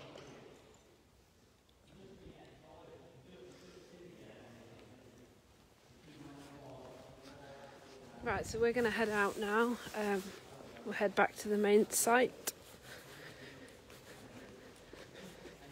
So you can kind of get an idea of what um, you know what the learners do here in the indoor arena. Um, these guys are in week three, um, so it just gives you a bit of an idea of what they're what they're doing. Um, as you can see, they do canter around individually, so it is very much one-to-one learning in in the sense that you are in a group, but you're still having that one-to-one tuition from the um, from the training instructors, just to make sure um, you're progressing progressing well, um, riding correctly, correct position, you know, got your balance right, um, and really bonding with the horses that you're riding. So, um, so that's what we could see in there.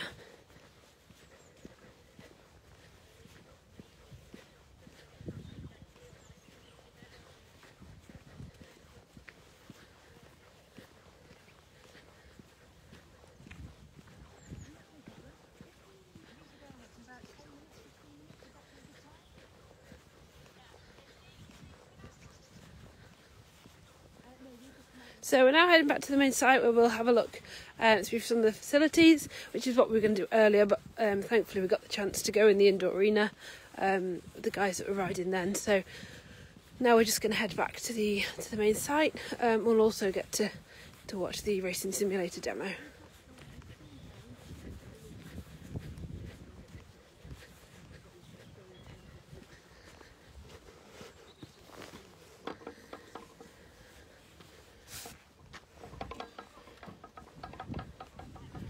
So those that have um, never been to the NHC or not sure where the NHC is located, we're just on the outskirts of Doncaster. Um, obviously, there's a few racing things in Doncaster with the, the race course and the, the bloodstock sales there. Um, and we're just on the outskirts, um, actually located on the site of Rossington Hall. So it's a beautiful area to be located at, um, but still very accessible uh, with the A1 M18 uh, within a few miles distance. So it's very accessible for all.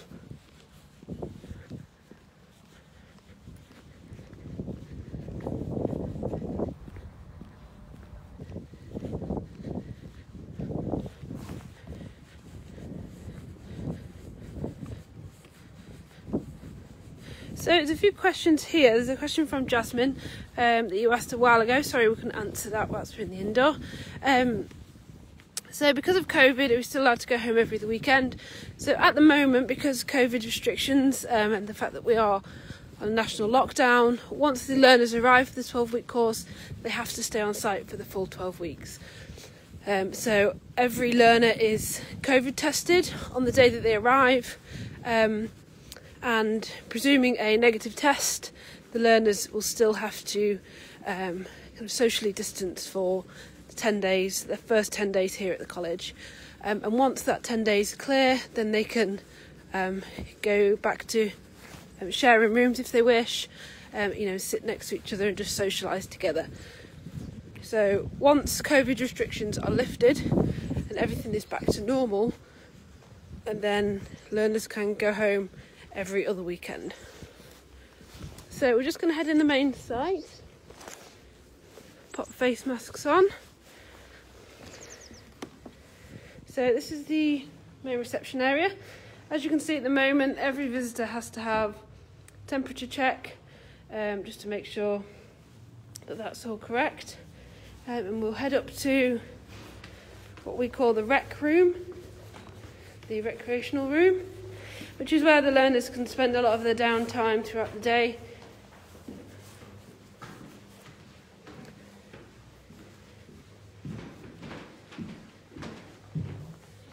So that's actually in here.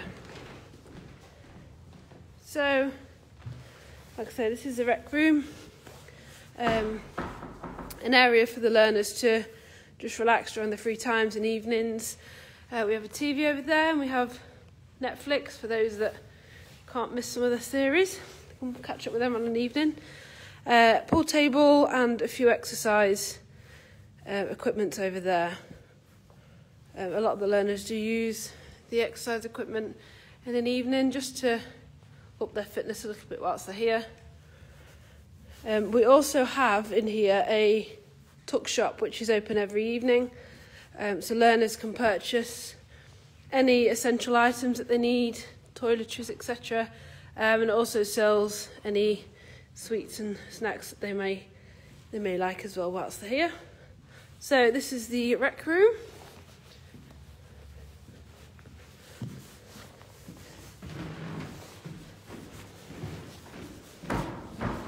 So we'll just head down now to the canteen.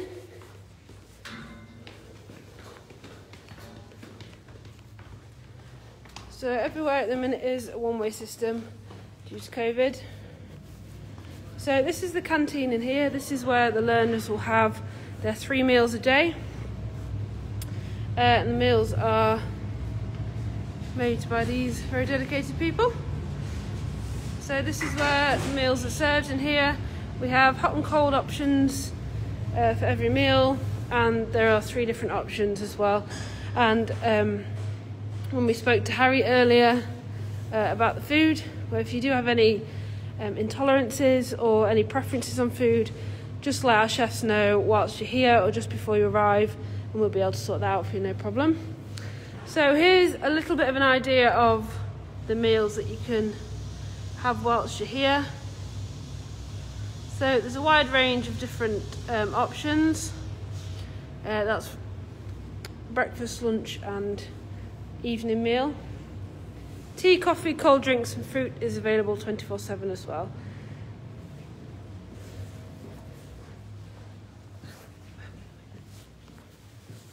So we'll just head back out now. We'll head over to the tack room. Um, we'll have a look in there.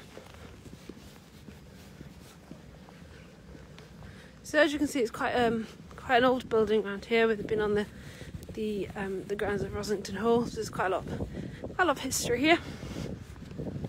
Um, we spoke earlier about the accommodation. So unfortunately, we can't actually go in the accommodation at the minute due to um, the health and safety of the learners during COVID times. Obviously, they're all safe here on site, um, having been tested, and um, you know they're isolating as such. So we won't be going into the accommodation today, uh, but you can look back on previous open mornings where we have visited the accommodation block. That's available on Facebook and YouTube. I believe it's back in April or May of 2020. So accommodation block here. Um, so the girls' landing is on the first floor, and the boys' landing is on the top floor. Um, so they have to stick to their landings. Anyone found on each other's landing um, equals uh, some, you know, not bad news for, for the learners. So basically, don't don't go on each other's landing. So there we go. So there's the accommodation up there. So now we'll head into the uh, the tack room and an area where the learners have certain roles and responsibilities to do. So whilst the learners are here, each learner will be given a role and responsibility. Um, and one of them roles is to clean and dry all the saddlecloths. So as you can see here, they've all been cleaned and dried and put back. Um, and one of the roles, responsibilities for one of the learners is to do that. And I think they've done quite a, a good job so far today. All very tidy in here. And then we'll head into here, which is the tack room.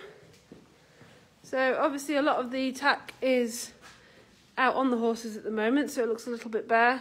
Um, but you can see that every horse has its own saddle and bridle. Um, just to give you an idea of what the saddle looks like up close. Let's use this one here. So this is Stan's. Um, so this is Stan's bridle. So most bridles are quite, um, you know, standard as to what they wear. Slightly different bit for this horse, but most of them would wear a snaffle. Um, a lot that you see in racing is the uh, the breast girth.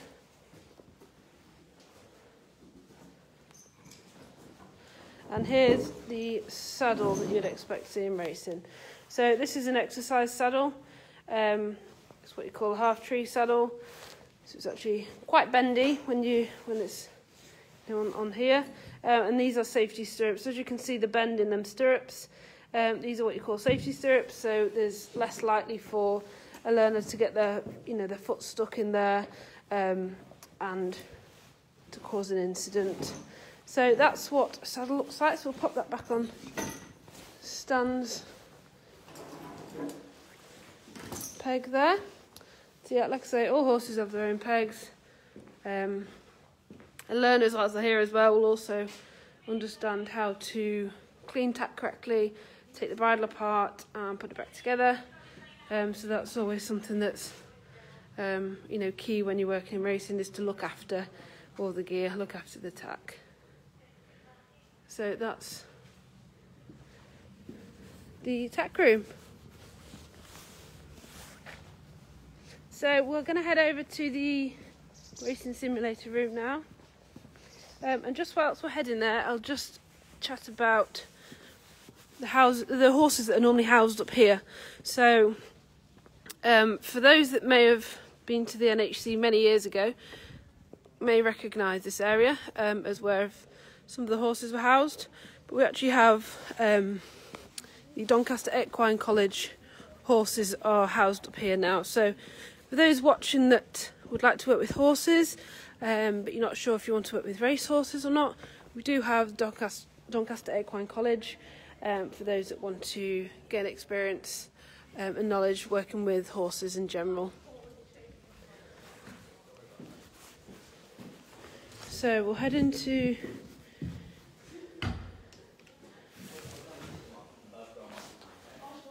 the racing simulator room.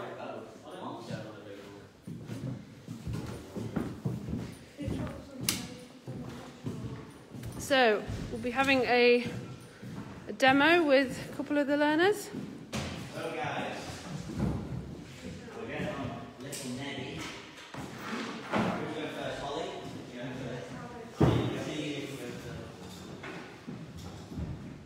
Get your stirrups right. Remember you ball your foot in, not too far in. Is that perfect for you? Yeah? Right. You ready to switch him on? Start steady shake your hand and pull yourself into a normal position. So a bit quicker. That's it, steady away. So you put your weight in your heel and your lower leg slightly forward. So we're going to start taking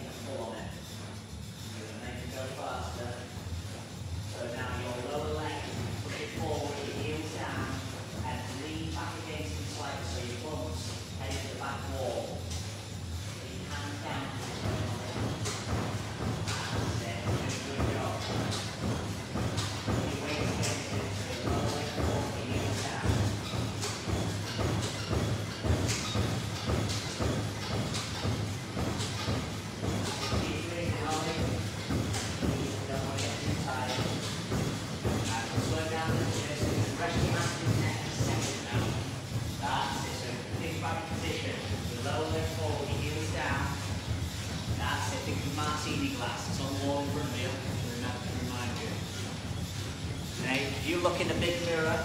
your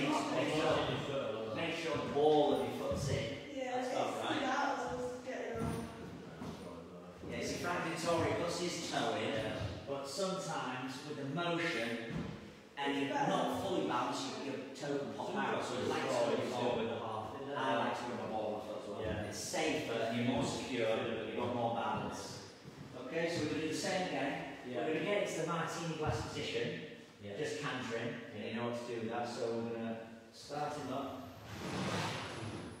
and change your hands so slightly shorter. That's it. Now pull yourself up into standing jockey position. That's it. Go a little bit quicker. That's it. You're nice and relaxed right now. Your horse is coming on great. You're happy with your position? Martini glass. Yeah. A little bit, a bit more weight the heels. That's it. A little bit quicker. And then we start taking a pull. So you're squeezing your arms back slightly, so you're bumping into the back wall, and you're pushing your lower leg forward and your heels down. That's it, you've got it. That's taking you full. That's a nice swinging canter. Keep breathing, man. Because you've got six furlongs to go. Now you're holding steady. You've got it. You've got your weight in your heels, your lower leg slightly forward, and you've got it at that going to go any faster. That's what the trainer told you to go. Three quarter speed, a swinging canter. You're holding at that. Keep breathing. That's it. Keep the tension in through your arms, your lower legs forward, so your weight is tilting back against you slightly. And you're maintaining that pace. You did a good job. Right, now it's time to settle, so you can relax your grips like that. Sit. Keep your heels down. I think martini glass position is perfect. Now it's switched off, relax.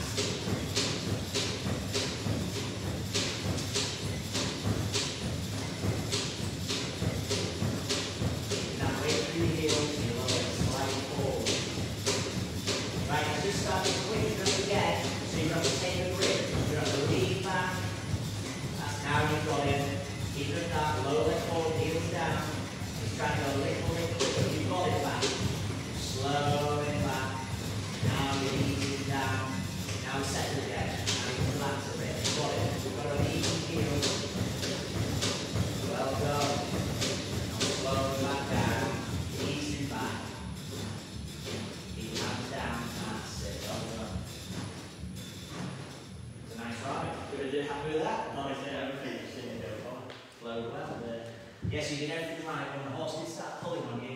the same thing. See that whole leg, your lower leg goes forward just as you did, and you ease back.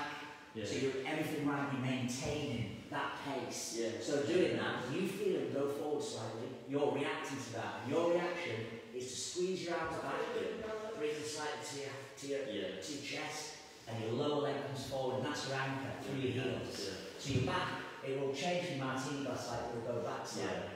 So you're pushing your bum through the back wall, Yeah. and you're easing back, and you've got it. And then your trainer kept him at that right swing canter. Yeah. And then when he switches off and relaxes, you can relax and go forward again. Yeah. And that's the key to it. Yeah. Well done, guys.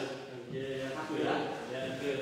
Lee, can we just um, chat quick about, um, so in terms of fitness, these obviously a great source of fitness for learners. Yeah. Um, so the guys that were doing that then, so what are you looking for at the minute in, in terms of, you know, their ability when they're on these? I think it's just a process of going stage by stage. When they first come in, the legs wouldn't have stood being on this horse and standing Yeah. hands for more than 20 seconds. Yeah. So they're obviously halfway. The four ones that coming up to the, they've done three weeks now, and the other group have done eight weeks. So Yeah. their fitness levels really improved, and then we can give them new techniques to learn when Yeah. they get stronger and the legs are able to take it. So Yeah. start the run a little bit longer, a little bit deeper in the saddle. Yeah. Uh, and their legs can take that, and now they're getting stronger, we can have them run shorter and actually get into a jockey position, Mm. and uh, their muscles are able to stand it. Yeah. They're working on their fitness.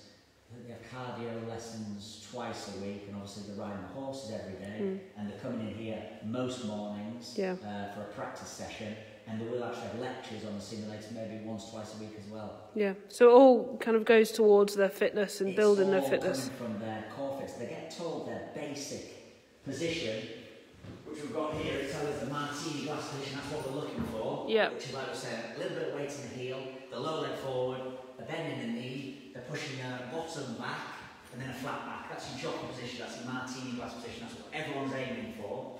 Yeah. And then we've got to teach them uh, when the horse is taking a pull how to react to that, Mhm. which is more weight through the stirrups, Yeah. heels down, and pivoting against them. Yeah. back.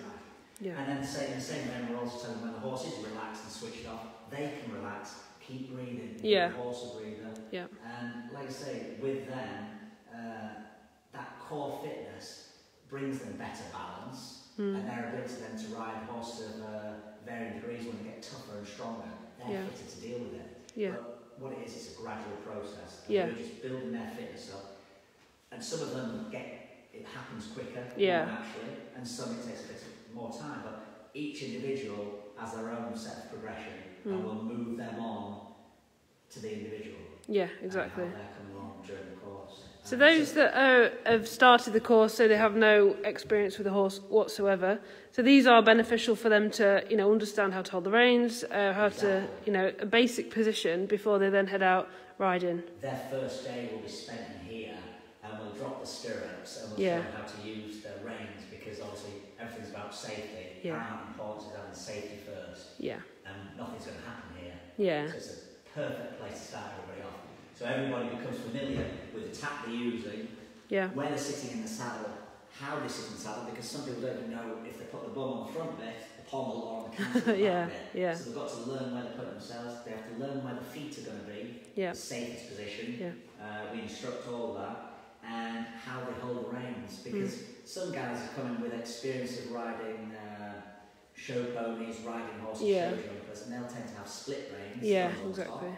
So we've got to re-educate those guys. It's Mm. sometimes a bit easier for people that have never ridden before. Yeah. So we're teaching them how to hold the reins as, as you would. Yeah. No old habits, is there? Which is your double bridge or a single bridge, but it's a stability hold. Yeah. So everything coming through the reins is a more stable fix. Mm. It's geared up for when they're cantering, so they get Yeah. a better hold of their Yeah. horse. Yeah, so exactly. I taught that from the beginning as well. You so like to give us a- done in here from the ground up. Yeah, exactly. Can you give us a quick demo on the reins then, how you'd expect them to hold? Um, so obviously a lot of people that watching this may have, like you say, have ridden the generic way of riding or never Yeah, ridden so at all. The first way you're taught to ride riding school ponies, or Yeah. riding longer, uh, Yeah. you have split reins and you have your thumbs on top. Yeah. And that's the way people tend to be taught when they're first riding. Yeah. Uh, here, what we're asking them to do is have a double bridge, which is putting both reins together so you've got an equal pressure hold. It's ideal for recantering. Now, what the difference is, there's a split rein technique, Yeah. which we'd still use on yearlings and Mm. breaking and schooling young Yeah. thoroughbreds. But when cantering, it's like this. You put the two together, and that's called a double bridge Yeah. and that's a single bridge. Exactly the same, but Yeah. there's less. For someone with smaller hands, Mhm. um, it's less of a kerfuffle, it's less Yeah. uh, equipment in the hands. Okay. But we're teaching them to do the double bridge if they can hold them like that, and if not, it's like that. It has the same effect. It's Yeah. exactly the same effect, it's just less to hold. So people look, like I say, with smaller hands, it's a little bit easier for them. Yeah. And we, we're trying to aim that they get thumbs width between them so your bridge can go over the horse's neck. So when Yeah. the horse is settled, you can relax them on the neck. Yeah, And if it's pulling, you can use them pull against themselves. So Yeah. you're not, because you've got to remember, these are uh, half a ton of animal. Yeah, exactly. Yeah. And we're a lot smaller than they are. Yeah. So our technique has got to be more than our power and strength. It's Yeah. more about technique than anything. Yeah, exactly. And that's what they're taught from here. Yeah. And uh, Perfect. they get to uh, see that in reality in practice and Yeah. they learn how to develop techniques Yeah. different category courses. Yeah. They learn from. That's great. Thank you very much for that demo and thanks for chatting to us.